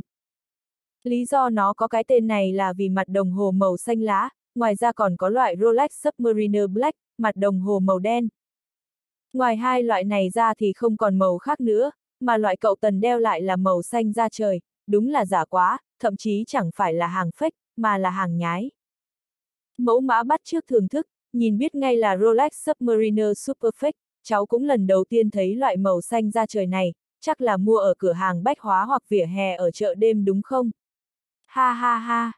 Tạ Hoa Cường thao thao bất tuyệt về chiếc đồng hồ này, giống như nắm được thóp của Tần Lâm, anh ta muốn phóng to khoảng cách để Tần Lâm cảm nhận rõ ràng về sự chênh lệch giàu nghèo. Để anh biết được ai là cóc ghẻ, ai là vương tử. Trúc Linh Linh cau mày lại, cảm thấy không đúng. Chiếc đồng hồ cô đang đeo là của Tần Lâm tặng, hơn nữa đã có người giám định, thực sự là Patek Philippe, hơn một triệu tệ. Hơn nữa viên đá hồng ngọc này cũng là do Tần Lâm tặng, vô cùng đắt tiền. Tần Lâm dễ dàng tặng món đồ đắt đỏ như thế, sao anh ấy có thể đeo đồ nhái hay là đồ vỉa hè chứ? Anh Tiểu Lâm, chiếc đồ hồ này là thật đúng không? Tạ Hoa Cường bật cười, ha ha ha. Linh Linh, ý của em là chiếc đồng hồ màu xanh ra trời của cậu ta là thật sao? Người yêu thích Rolex như tôi chẳng lẽ lại không biết về chiếc đồng hồ này sao? Ha ha! Tạ Hoa Cường tận dụng mọi cơ hội để chế giễu Tần Lâm, để anh không còn thể diện trước mặt Trúc Linh Linh, đó là thủ đoạn tốt nhất để nâng cao vị thế của bản thân. Tần Lâm liếc nhìn chiếc đồng hồ của mình, anh không quan tâm là thật hay giả. Chỉ có loại như tạ hoa cường mới vì sự thật giả của một chiếc đồng hồ mà sinh ra cảm giác hơn người, đối với Tần Lâm mà nói cho dù đeo một chiếc đồng hồ trên chục triệu cũng chỉ là công cụ để xem giờ mà thôi. Nhưng theo lý mà nói chiếc đồng hồ này không phải là hàng giả, lúc Diệp Hiên Viên ra ngoài chữa bệnh, bệnh nhân toàn là những người giàu, rất có quyền lực. Đồ do những nhân vật như thế tặng sao có thể là giả được chứ? Lúc bầu không khí đang ngượng ngùng, đột nhiên có người gõ cửa. Xin chào. Vào đi. Tạ thiếu gia, tôi là ông chủ của nhà hàng này, tôi họ Phương, tôi nghe nói tạ thiếu gia đến nên đặc biệt qua để tặng một chai rượu. Tạ Hoa Cường lập tức nở nụ cười, mặc dù anh ta không quen ông chủ Phương này nhưng ông ấy thì biết anh ta. Một chai rượu đáng giá bao nhiêu đâu, nhưng thái độ này khiến anh ta rất có thể diện. Cảm ơn ông chủ Phương. Tạ Hoa Cường giơ tay, ông chủ Phương nhìn thấy chiếc đồng hồ Rolex trên tay anh ta, mắt lập tức sáng lên. Ây dô, đồng hồ Rolex Submariner Green phiên bản giới hạn, tạ thiếu ra đúng là có khiếu thẩm mỹ. Tạ Hoa Cường cười nhạt, ông chủ Phương cũng biết về đồng hồ hả? Ông chủ Phương nói, ha ha, tôi biết chút ít, bình thường tôi cũng thích siêu tập đồng hồ, lúc rảnh rỗi cũng có dám định thật giả cho người ta.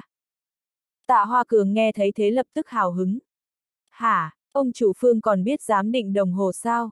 Đúng là trùng hợp quá, bạn của tôi có một chiếc đồng hồ nổi tiếng hàng hiệu, nhờ ông giám định. Lúc nói tạ Hoa Cường cố tình nhấn mạnh chữ đồng hồ hàng hiệu nổi tiếng, giọng điệu rất giễu cợt.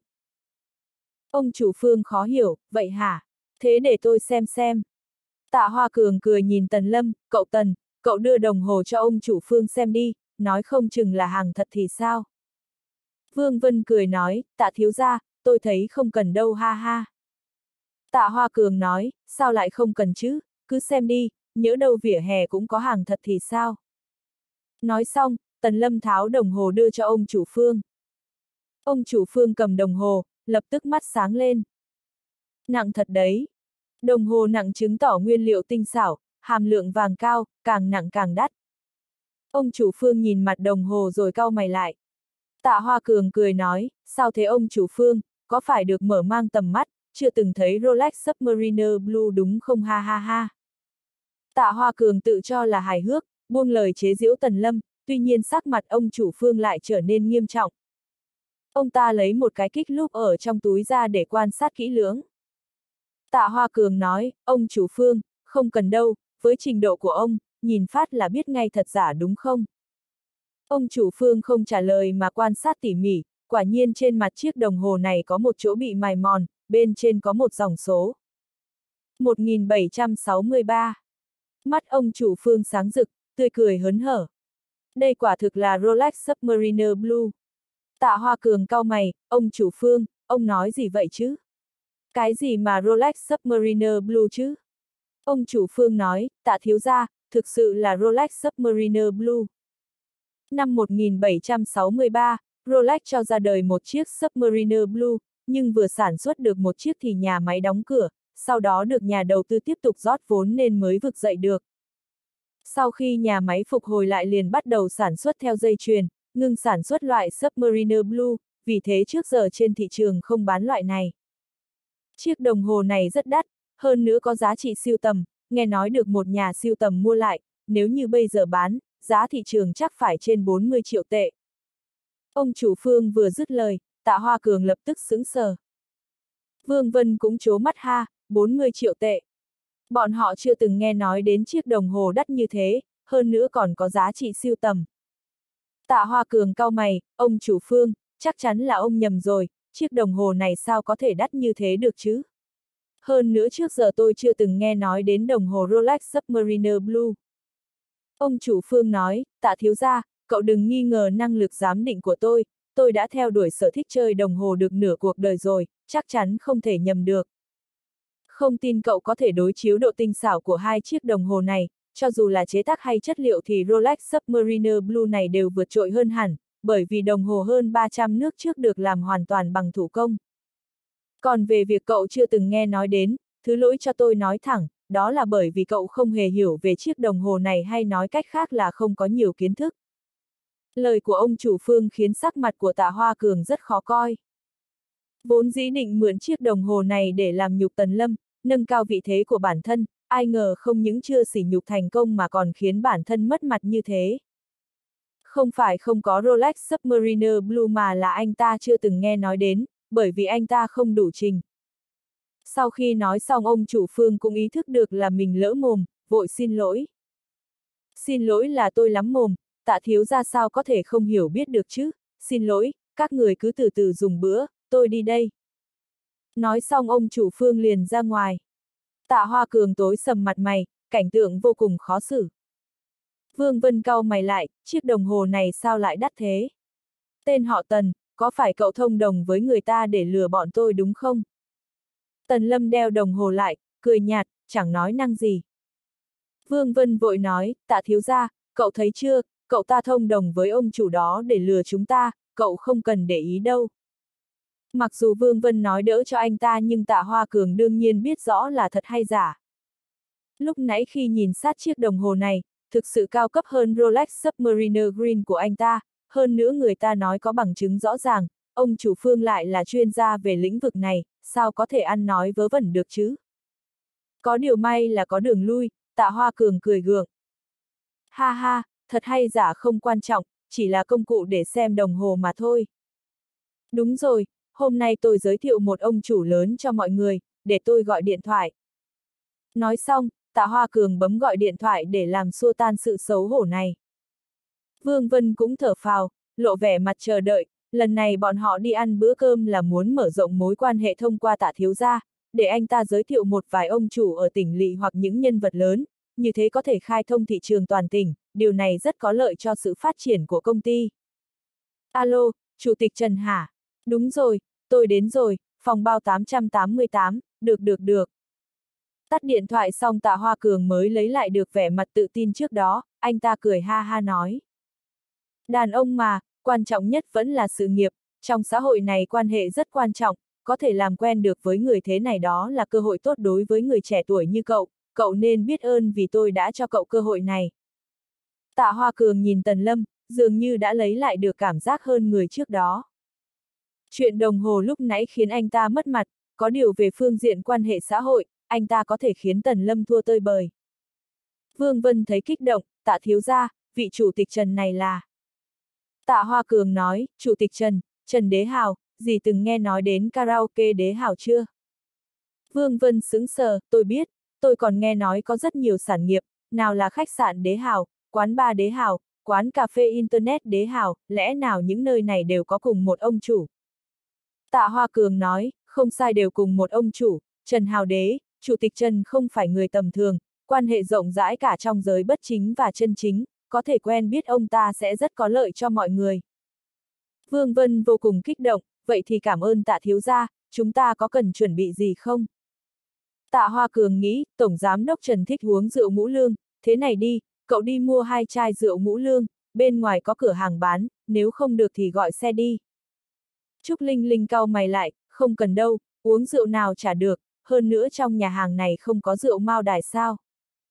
Tạ Hoa Cường nghiêm mặt nói, như thế sao được, đàn bà như em không hiểu đâu, có rất nhiều vụ làm ăn được đàm phán trên bàn rượu, nếu muốn kết thân với các sếp lớn thì nhất định phải hầu hạ để người ta thấy hài lòng, thoải mái trên bàn rượu. Được rồi, mau đi đi, mua về tôi thanh toán cho, cùng lắm thì cho thêm chút tiền phí đi lại. Ông chủ phương khó hiểu, vậy hả? Thế để tôi xem xem. Tạ Hoa Cường cười nhìn Tần Lâm, cậu Tần, cậu đưa đồng hồ cho ông chủ phương xem đi, nói không chừng là hàng thật thì sao. Vương Vân cười nói, tạ thiếu ra, tôi thấy không cần đâu ha ha. Tạ Hoa Cường nói, sao lại không cần chứ, cứ xem đi, nhớ đâu vỉa hè cũng có hàng thật thì sao. Nói xong, Tần Lâm tháo đồng hồ đưa cho ông chủ phương. Ông chủ phương cầm đồng hồ, lập tức mắt sáng lên. Nặng thật đấy. Đồng hồ nặng chứng tỏ nguyên liệu tinh xảo, hàm lượng vàng cao, càng nặng càng đắt. Ông chủ phương nhìn mặt đồng hồ rồi cau mày lại. Tạ Hoa Cường cười nói, sao thế ông chủ phương, có phải được mở mang tầm mắt, chưa từng thấy Rolex Submariner Blue đúng không ha ha ha. Tạ Hoa Cường tự cho là hài hước, buông lời chế giễu Tần Lâm, tuy nhiên sắc mặt ông chủ phương lại trở nên nghiêm trọng. Ông ta lấy một cái kích lúc ở trong túi ra để quan sát kỹ lưỡng. Tạ Hoa Cường nói, ông chủ phương, không cần đâu, với trình độ của ông, nhìn phát là biết ngay thật giả đúng không? Ông chủ phương không trả lời mà quan sát tỉ mỉ, quả nhiên trên mặt chiếc đồng hồ này có một chỗ bị mài mòn, bên trên có một dòng số. 1763. Mắt ông chủ phương sáng rực, tươi cười hớn hở. Đây quả thực là Rolex Submariner Blue. Tạ Hoa Cường cau mày, ông chủ phương, ông nói gì vậy chứ? Cái gì mà Rolex Submariner Blue chứ? Ông chủ phương nói, tạ thiếu gia, thực sự là Rolex Submariner Blue. Năm 1763, Rolex cho ra đời một chiếc Submariner Blue, nhưng vừa sản xuất được một chiếc thì nhà máy đóng cửa, sau đó được nhà đầu tư tiếp tục rót vốn nên mới vực dậy được. Sau khi nhà máy phục hồi lại liền bắt đầu sản xuất theo dây chuyền, ngừng sản xuất loại Submariner Blue, vì thế trước giờ trên thị trường không bán loại này. Chiếc đồng hồ này rất đắt, hơn nữa có giá trị siêu tầm, nghe nói được một nhà siêu tầm mua lại, nếu như bây giờ bán, giá thị trường chắc phải trên 40 triệu tệ. Ông chủ phương vừa dứt lời, tạ hoa cường lập tức sững sờ. Vương Vân cũng chố mắt ha, 40 triệu tệ. Bọn họ chưa từng nghe nói đến chiếc đồng hồ đắt như thế, hơn nữa còn có giá trị siêu tầm. Tạ Hoa Cường cao mày, ông chủ phương, chắc chắn là ông nhầm rồi, chiếc đồng hồ này sao có thể đắt như thế được chứ? Hơn nữa trước giờ tôi chưa từng nghe nói đến đồng hồ Rolex Submariner Blue. Ông chủ phương nói, tạ thiếu gia, cậu đừng nghi ngờ năng lực giám định của tôi, tôi đã theo đuổi sở thích chơi đồng hồ được nửa cuộc đời rồi, chắc chắn không thể nhầm được.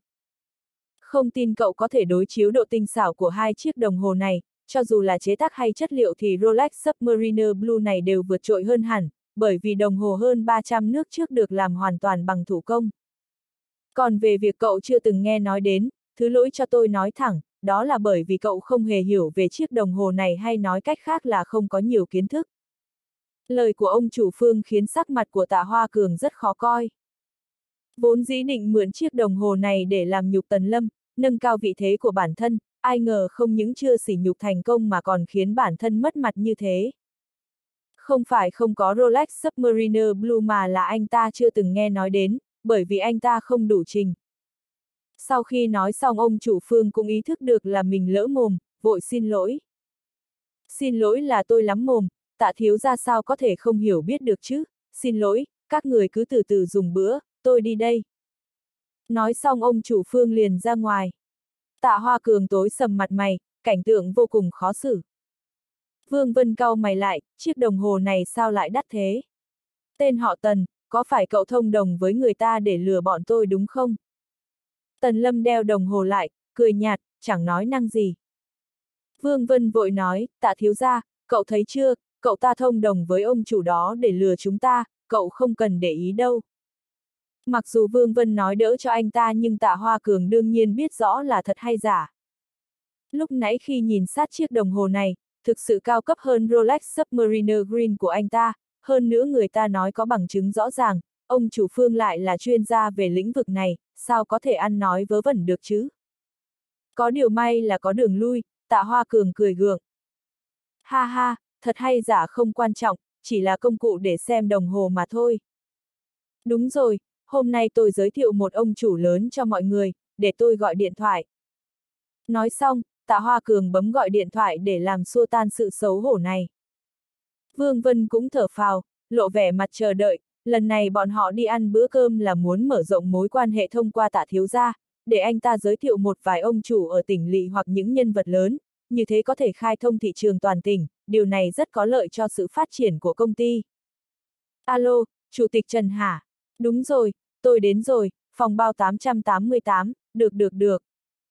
Tắt điện thoại xong tạ Hoa Cường mới lấy lại được vẻ mặt tự tin trước đó, anh ta cười ha ha nói.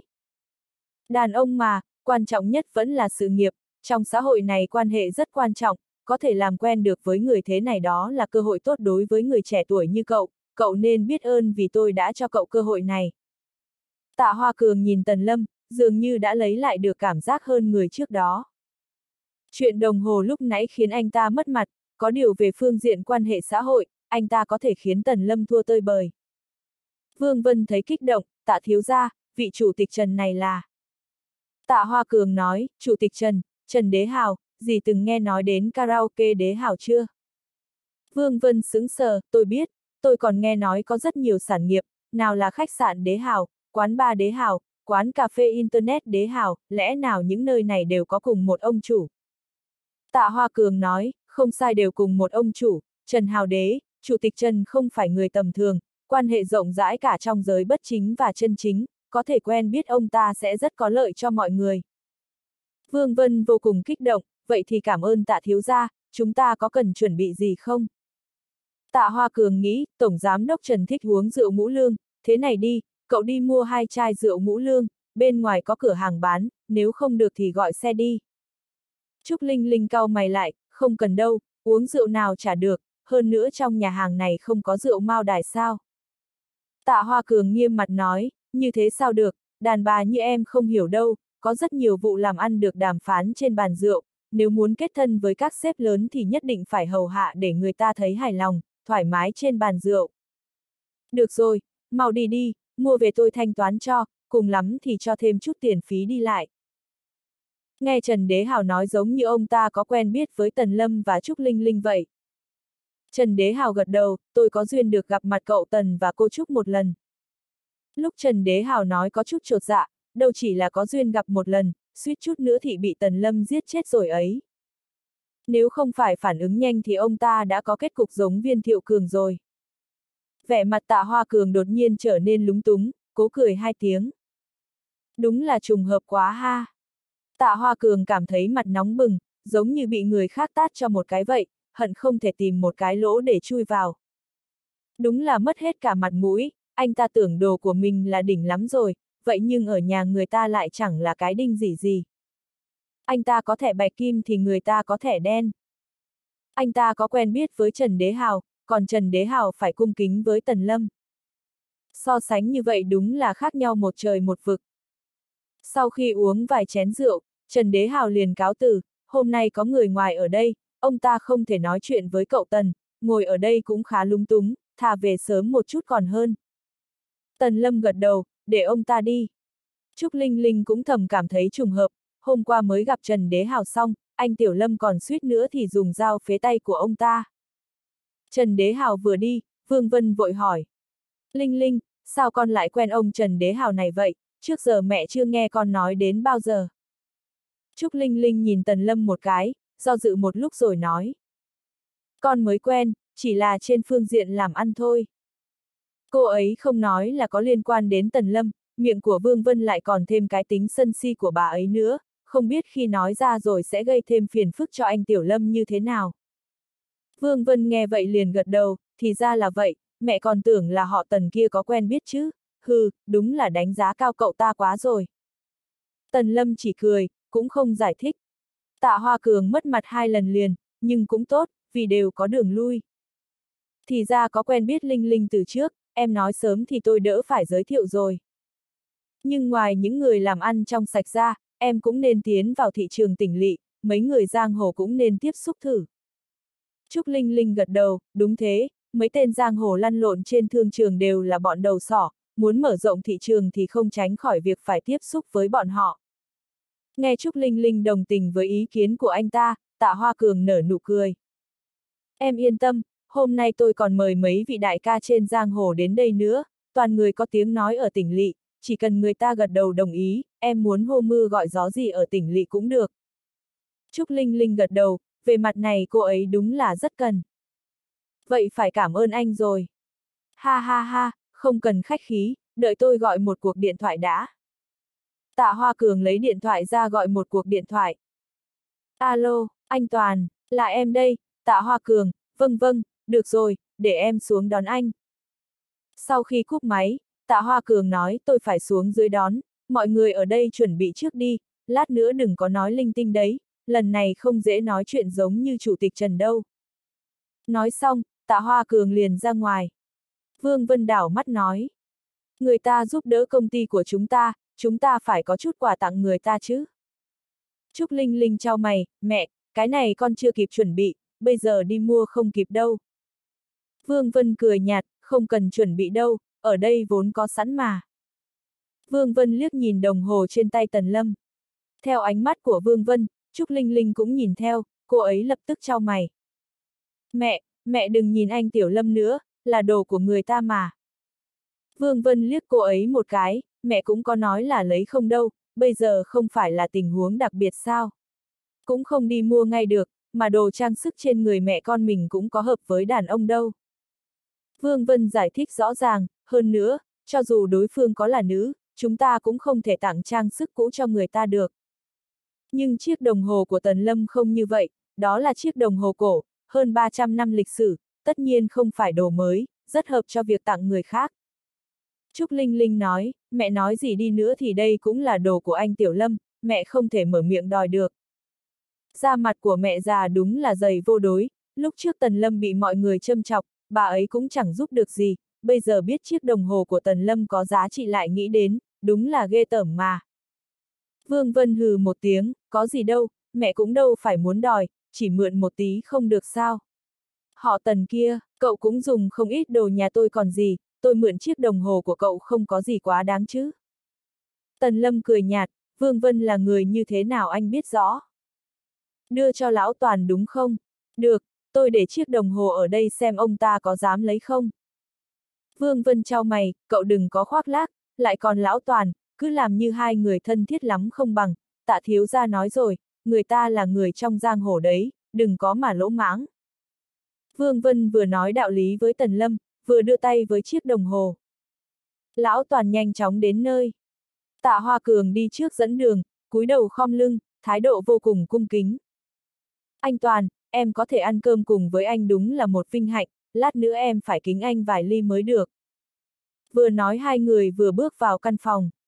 Vừa bước vào căn phòng, lão toàn nhìn kỹ một lượt, đột nhiên biến sắc. Đây chẳng phải là, cậu tần sao? Lão toàn có chút hoang mang, vốn buổi uống rượu ngày hôm nay chỉ là một buổi uống rượu bình thường trong vô số những buổi uống rượu khác.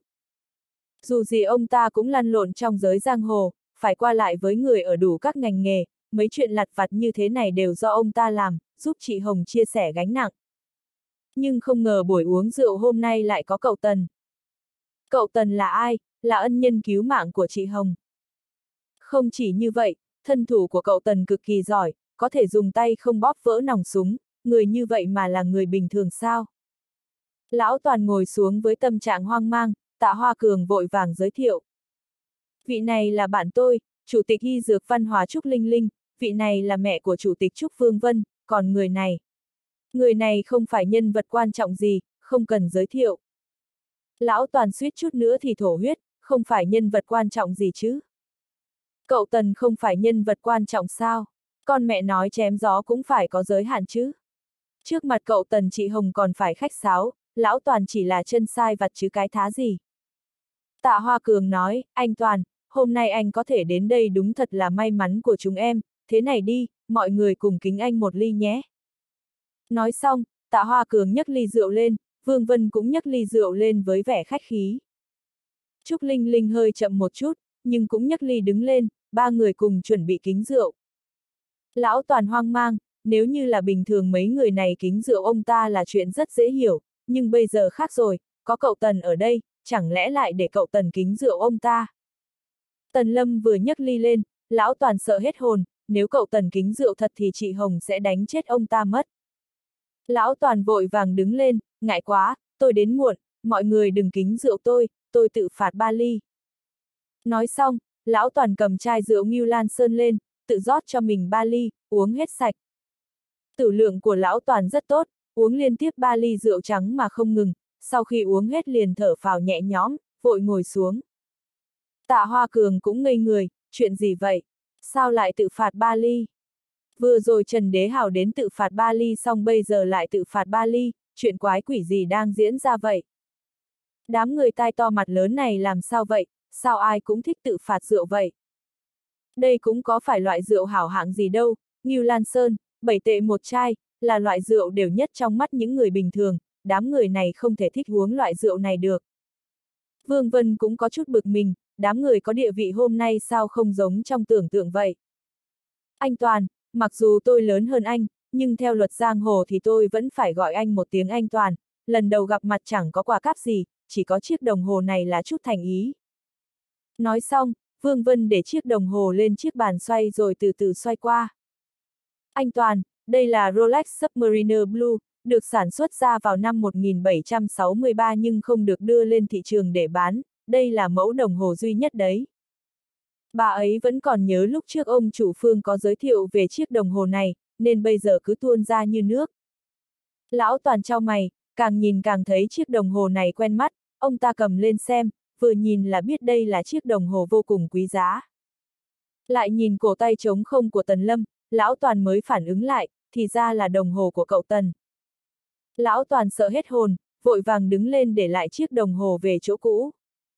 Thật ngại quá, cái này tôi không thể lấy được, ha ha, tôi còn có việc, tôi đi trước đây. Nói xong, lão toàn liền quay người rời đi.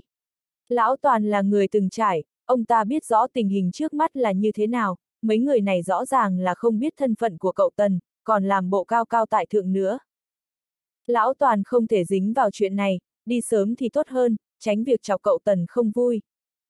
Lão toàn đột nhiên rời đi làm mọi người đều ngỡ ngàng. Tạ thiếu gia, có phải chúng tôi có điều gì thất lễ không? Vương Vân cũng không hiểu luật giang hồ, còn tưởng mình đã phạm phải sai lầm gì, nơm nớp lo sợ. Tạ Hoa Cường trao mày, cũng không biết tại sao, theo lý mà nói, hôm nay không có chỗ nào thất lễ cả, kính rượu, tặng quà, tiếp đái, đều đúng theo quy trình mà. Sao anh toàn lại như chạy trốn vậy? Tạ Hoa Cường nghiêng đầu, nhìn thấy Tần Lâm lại đeo chiếc đồng hồ lên, đột nhiên trao mày lại. Đều tại cậu, vừa rồi lúc kính rượu, tại sao cậu lại không cầm ly rượu đứng lên? Chắc chắn là cậu chọc giận anh Toàn, chẳng làm được cái gì chỉ phá là giỏi. Tạ Hoa Cường không còn gì để nói, liền đổ hết mọi chuyện lên đầu Tần Lâm. Vương Vân nghe vậy, vẻ mặt cũng trầm xuống, tức giận nói. Tôi biết ngay là cậu chẳng có ý tốt mà, không gây phiền phức thêm cho chúng tôi là được rồi, đưa cậu đi để mở mang tầm mắt thôi. Bây giờ thì hay rồi, phá hoại cả mấy mối quan hệ tốt của chúng tôi. Tần Lâm, rốt cuộc cậu muốn như thế nào? Vương Vân nói xong, Trúc Linh Linh đột nhiên trao mày. Mẹ nói cái gì vậy, đây có phải là lỗi của anh Tiểu Lâm đâu? Vương Vân vô cùng tức giận, hôm nay vốn muốn kết thân với mấy nhân vật lớn, sau này sẽ có lợi với sự nghiệp của bọn họ. Kết quả là gặp được người ta rồi nhưng lại không kết thân được, người ta uống vội mấy ly rượu rồi đi luôn, đến số điện thoại cũng không để lại. Thế này thì kết thân kiểu gì? Đương nhiên rồi, Trần Đế Hào và Lão Toàn đều không để lại phương thức liên lạc cũng chẳng phải lý do đặc biệt gì, bởi vì số điện thoại của bọn họ Tần Lâm có hết rồi, không cần phải để lại cho những người khác làm gì. Sao lại không phải lỗi của cậu ta chứ? Trúc Linh Linh, con bị ma quỷ dụ dỗ rồi sao? Con quên cậu ta đã từng đi câu lạc bộ thái nghệ rồi sao? Con còn tha thứ cho cậu ta, mẹ thấy não còn uống nước rồi đấy. Nói xong, Vương Vân cầm ly lên đập mạnh xuống đất, xoảng, một tiếng, chiếc ly vỡ tan. Vương Vân đứng dậy, giận dữ đi ra ngoài. Để cháu tiến gì, tạ hoa cường vội vàng tiến lên lấy lòng. Trong phòng chỉ còn Tần Lâm và Trúc Linh Linh, không khí có chút ngượng ngùng. Trúc Linh Linh nói, anh Tiểu Lâm, anh đi câu lạc bộ thái nghệ làm gì? Hỏi xong câu này Trúc Linh Linh liền cảm thấy hối hận, câu hỏi này không phải vô ích sao, đàn ông đến câu lạc bộ thái nghệ để làm gì chứ, còn không phải là tìm phụ nữ chơi đùa sao? Nhưng Trúc Linh Linh vẫn muốn tin Tần Lâm, tin điều này không phải thật, cho nên mới hỏi câu đó. Tần Lâm ngây người một chút, không ngờ Trúc Linh Linh lại hỏi câu này, lại còn có chút buồn bực nữa, sao cô ấy lại biết được. Linh Linh, anh đến đó có chút việc, không tiện nói với em, là chuyện chính đáng. Trúc Linh Linh gật đầu, vẻ mặt có chút thất vọng, em biết rồi, em về trước đây. Nói xong, Trúc Linh Linh đi ra ngoài. Viên mắt cô ấy có chút ửng đỏ, trong lòng cảm thấy rất tủi thân, anh Tiểu Lâm, sao đến cả việc nói dối anh cũng không chịu vậy, lừa em cũng được mà. Tần Lâm cũng không biết phải làm sao, ban đầu Tần Lâm đến câu lạc bộ Thái Nghệ là để giết Cao Thâm, mặc dù tin tức Cao Thâm bị giết đã truyền đi khắp cả nước, nhưng cụ thể là ai giết thì không người nào biết. Ngoài đoàn Bảo Đông và Bùi Lương ra thì không ai biết chuyện này, ngay cả lôi hồng một tay che trời ở tỉnh lỵ còn chẳng biết ai giết. Cho nên chuyện này càng ít người biết càng tốt, Tần Lâm sợ bọn họ gặp nguy hiểm. Nhưng nhìn dáng vẻ của Trúc Linh Linh hình như là đã hiểu lầm rồi, thôi kệ vậy, hiểu lầm thì hiểu lầm, lần sau có cơ hội sẽ giải thích. Vừa định đi thì điện thoại kêu lên, là Tổng Thanh tra Triệu Lệ Khôn của đài truyền hình Trung ương gọi. Tổng Thanh tra Triệu, Tần Lâm có chút bực mình, Tổng Thanh tra Triệu gọi điện thoại đến làm gì? Tần Đại Sư, ngày mai ở tỉnh Lỵ có một cuộc so tài thần y, không biết cậu có muốn tham gia không? Đương nhiên lần này không có truyền hình đưa tin, tôi chỉ thay bọn họ mời cậu thôi. Tần Lâm cười nói, tôi không đi đâu, tôi không muốn tham gia mấy cuộc thi như thế này.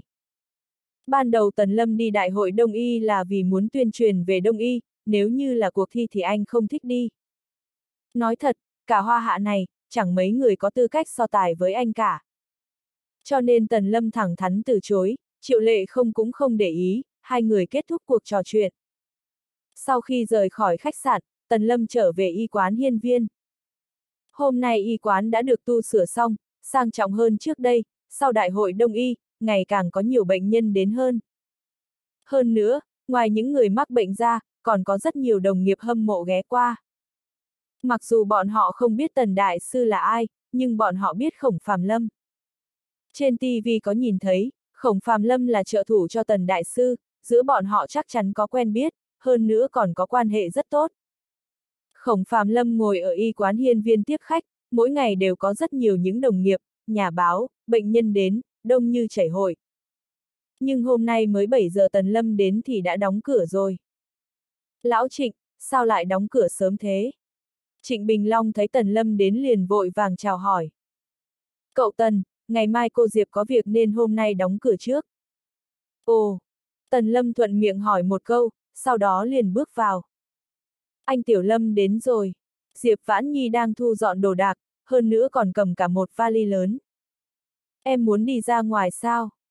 Diệp Vãn Nhi nói, anh Tiểu Lâm đến đúng lúc lắm, ngày mai ở tỉnh lỵ có cuộc thi so tài thần y, anh đi cùng em không? Ừm. Tần Lâm có chút không nói lên lời, vừa mới từ chối lời mời của Triệu Lệ Khôn xong, không ngờ Diệp Vãn Nhi lại muốn tham gia. Anh Tiểu Lâm, em đi một mình hơi sợ, anh đi cùng em đi, để cổ động em có được không? Được thôi, em Vãn Nhi đã nói như vậy rồi, Tần Lâm cũng khó từ chối, coi như là đi chơi một chút, dù gì cũng không cần phải thi thố gì cả. Vậy tốt quá, để em giúp anh đăng ký. Nói xong, Diệp Vãn Nhi cầm điện thoại lên, đánh tên và số điện thoại của Tần Lâm trên một trang web, sau đó nhận được một lá thư mời điện tử. Vì vị trí của cuộc thi lần này ở phía giáp bắc của tỉnh Lị nên khoảng cách khá xa, bọn họ không lái xe mà phải đi bằng xe lửa. Sau khi Diệp Vãn Nhi và Tần Lâm cùng lên xe lửa, ngồi ở vị trí gần cửa sổ, đối diện là một cô gái đeo khẩu trang đang ngủ, cô ấy đội mũ, đeo kính dâm, bịt kín mít, nhìn giống như ngồi xe đường dài trở về vậy. Tần Lâm ngồi bên cạnh cô ấy, cũng không nói gì để tránh làm phiền đến giấc ngủ của người ta.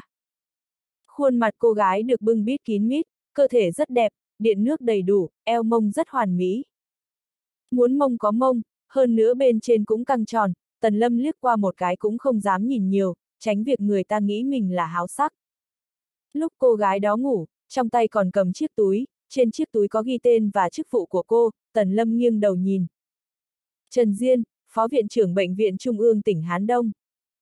Tần Lâm nhíu mày, không ngờ lại gặp phải nhân vật tầm cỡ ở đây, Phó Viện trưởng Bệnh viện tỉnh lại trẻ như vậy. Nhìn cô ấy chắc lớn hơn Lâm Nguyệt Giao 2-3 tuổi, tầm 27-28, không ngờ đã làm phó viện trưởng rồi, đúng là có bản lĩnh. Tần Lâm dựa vào ghế, nhìn phong cảnh ngoài cửa sổ, Đột nhiên bả vai trùng xuống, Tần Lâm quay đầu nhìn lại, cô gái kia không biết đã nghiêng đầu dựa vào vai Tần Lâm từ lúc nào. Mái tóc dài rũ xuống trước mặt Tần Lâm, hương thơm phả vào mặt, Tần Lâm nhìn trái nhìn phải, có chút bất đắc dĩ, cô gái này đúng là lớn gan thật đấy. Tần Lâm hơi đẩy nhẹ một chút, muốn đẩy cô ấy ra nhưng không đẩy được, Trần Diên lập tức vươn tay ra ôm lấy cánh tay của Tần Lâm. Rất nhiều người có thói quen ôm đồ gì đó lúc ngủ, nhưng cơ thể Trần Diên quyến rũ như thế này, lúc ôm Tần Lâm hình như có nơi nào đó mềm ra thì phải. Tần Lâm không còn gì để nói, hành động này đúng là quá thân mật, như thế này với người lạ đúng là không được hay cho lắm. Tần Lâm nghiêng người, đưa tay ra chuẩn bị đỡ Trần Diên dậy.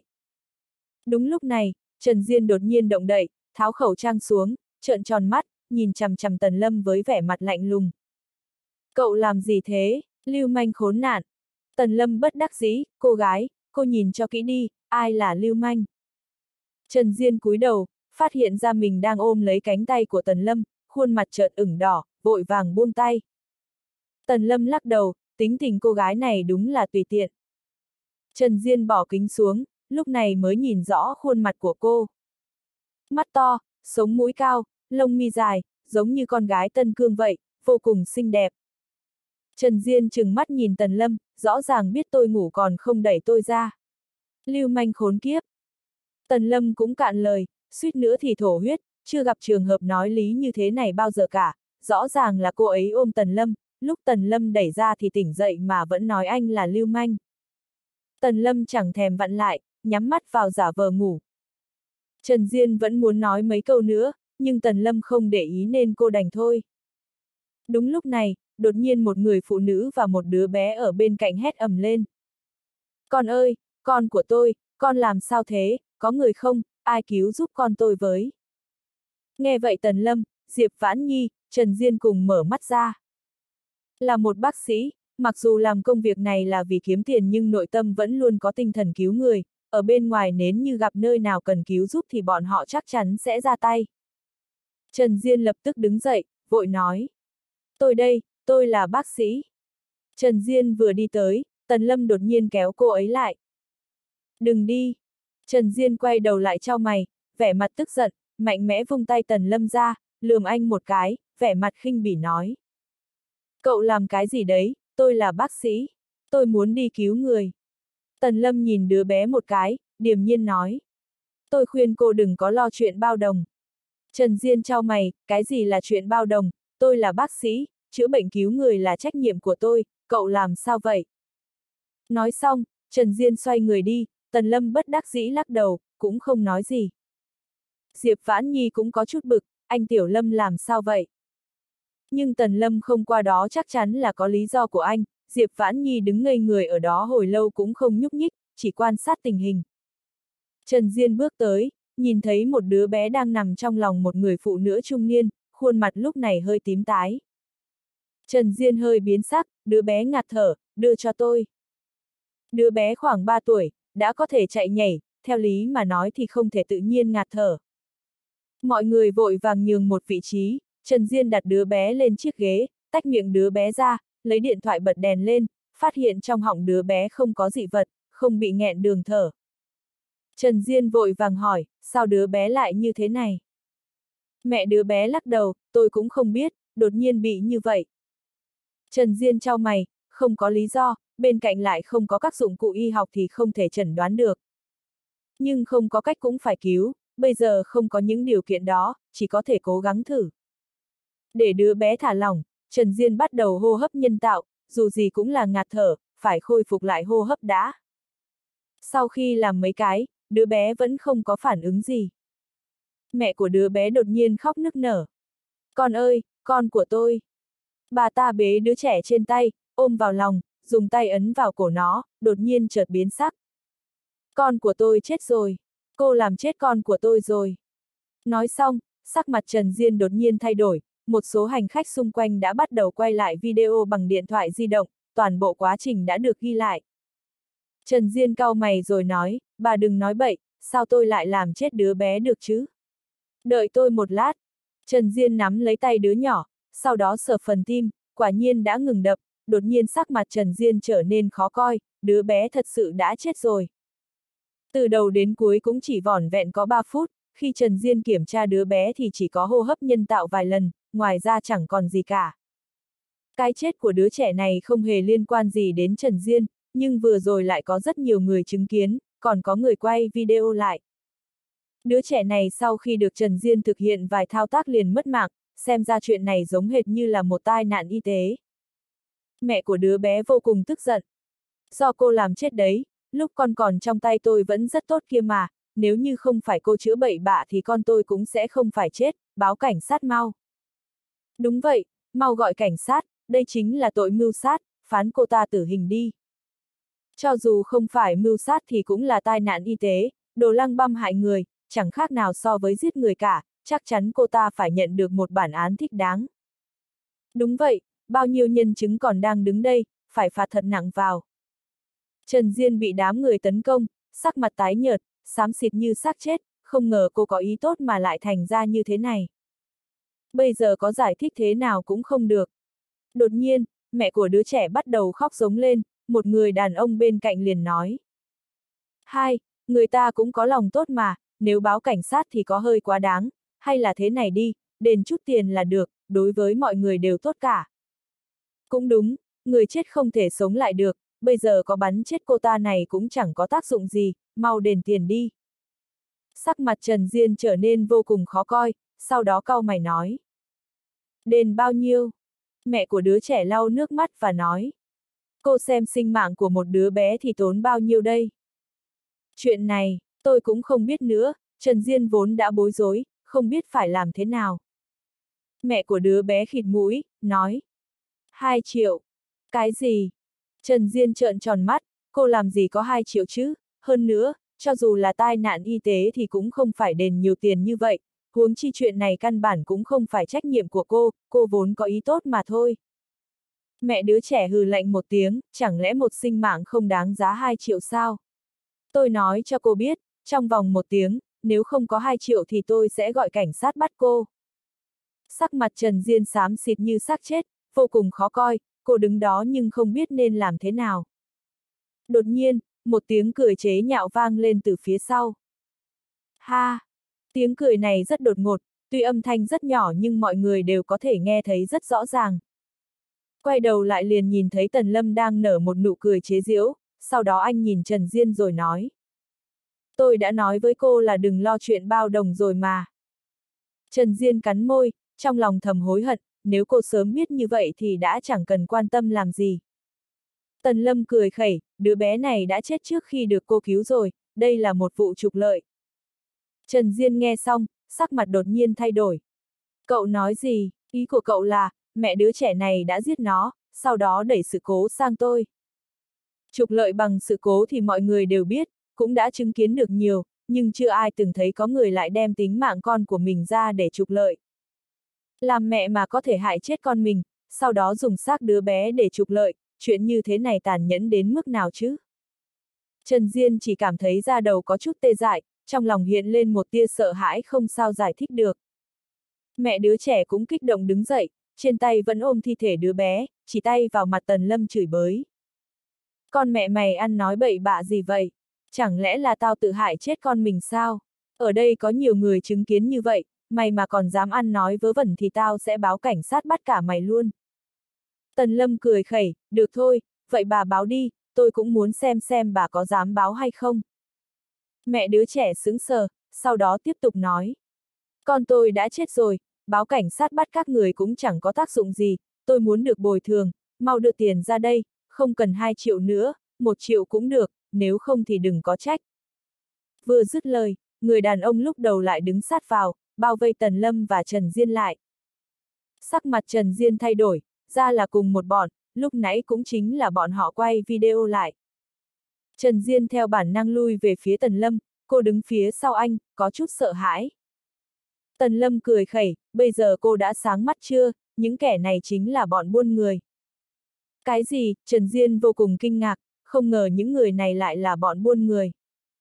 Đứa trẻ này chỉ là một trong số rất nhiều đứa trẻ mà chúng bắt cóc, trên đường đi, nếu bọn chúng phát hiện đứa bé này bị bệnh vô cùng nặng, hơn nữa là do vì lừa gạt để buôn bán nên mới không dám đem đến bệnh viện chữa trị, sau đó bọn chúng dứt khoát hạ thuốc đứa bé, làm cho nó chết.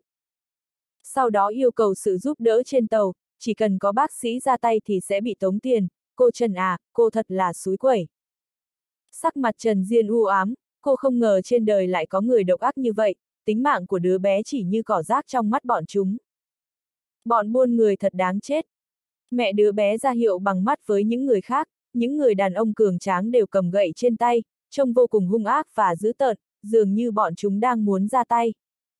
Bọn buôn người này đều là những kẻ điên cuồng mất hết lý trí, bọn chúng cũng không ngần ngại gì nếu thật sự muốn động tay động chân. Trần Diên giật mình, sắc mặt có chút tái nhợt, nếu thật sự đánh thì chắc chắn hai bọn họ không phải là đối thủ. Cô thực sự hối hận, nếu sớm biết thì vừa rồi cô nghe lời Tần Lâm cho xong, đừng đi lo chuyện bao đồng. Tần Lâm cười khẩy, muốn ra tay à? Chỗ này cũng nhỏ quá rồi, ra phía đuôi tàu đi, rộng hơn, dễ đánh. Mẹ đứa bé nghe xong, liền gật đầu nói, được.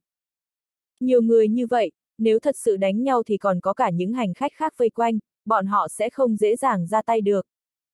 Tần Lâm chủ động yêu cầu đến một nơi có nhiều không gian trống, thế chẳng phải càng tốt hơn sao? Tần Lâm vỗ vai Trần Diên, sau đó kéo cô lại, cô ngồi đó, một mình tôi đi là được. Trần Diên bị Tần Lâm đẩy xuống chỗ ghế ngồi, bảy tám người vây quanh Tần Lâm tiến lên phía trước toa xe lửa. Sau khi đi đến đuôi tàu, vài người đàn ông cao to chế nhạo. Thằng nhóc, đừng có lo chuyện bao đồng, nếu không phải trả giá đó. Tần Lâm cười nhạt, ồ, vậy sao? Trần Diên đứng ngồi không yên trong toa tàu, dù gì thì cô cũng là người gây ra chuyện này, kết quả Tần Lâm lại bị đánh, khiến cô có chút chạnh lòng. Trần Diên đứng dậy, vớ một chai rượu dưới đất lên rồi lặng lẽ bước đi. Audio điện tử võ tấn bền. Hết tập 20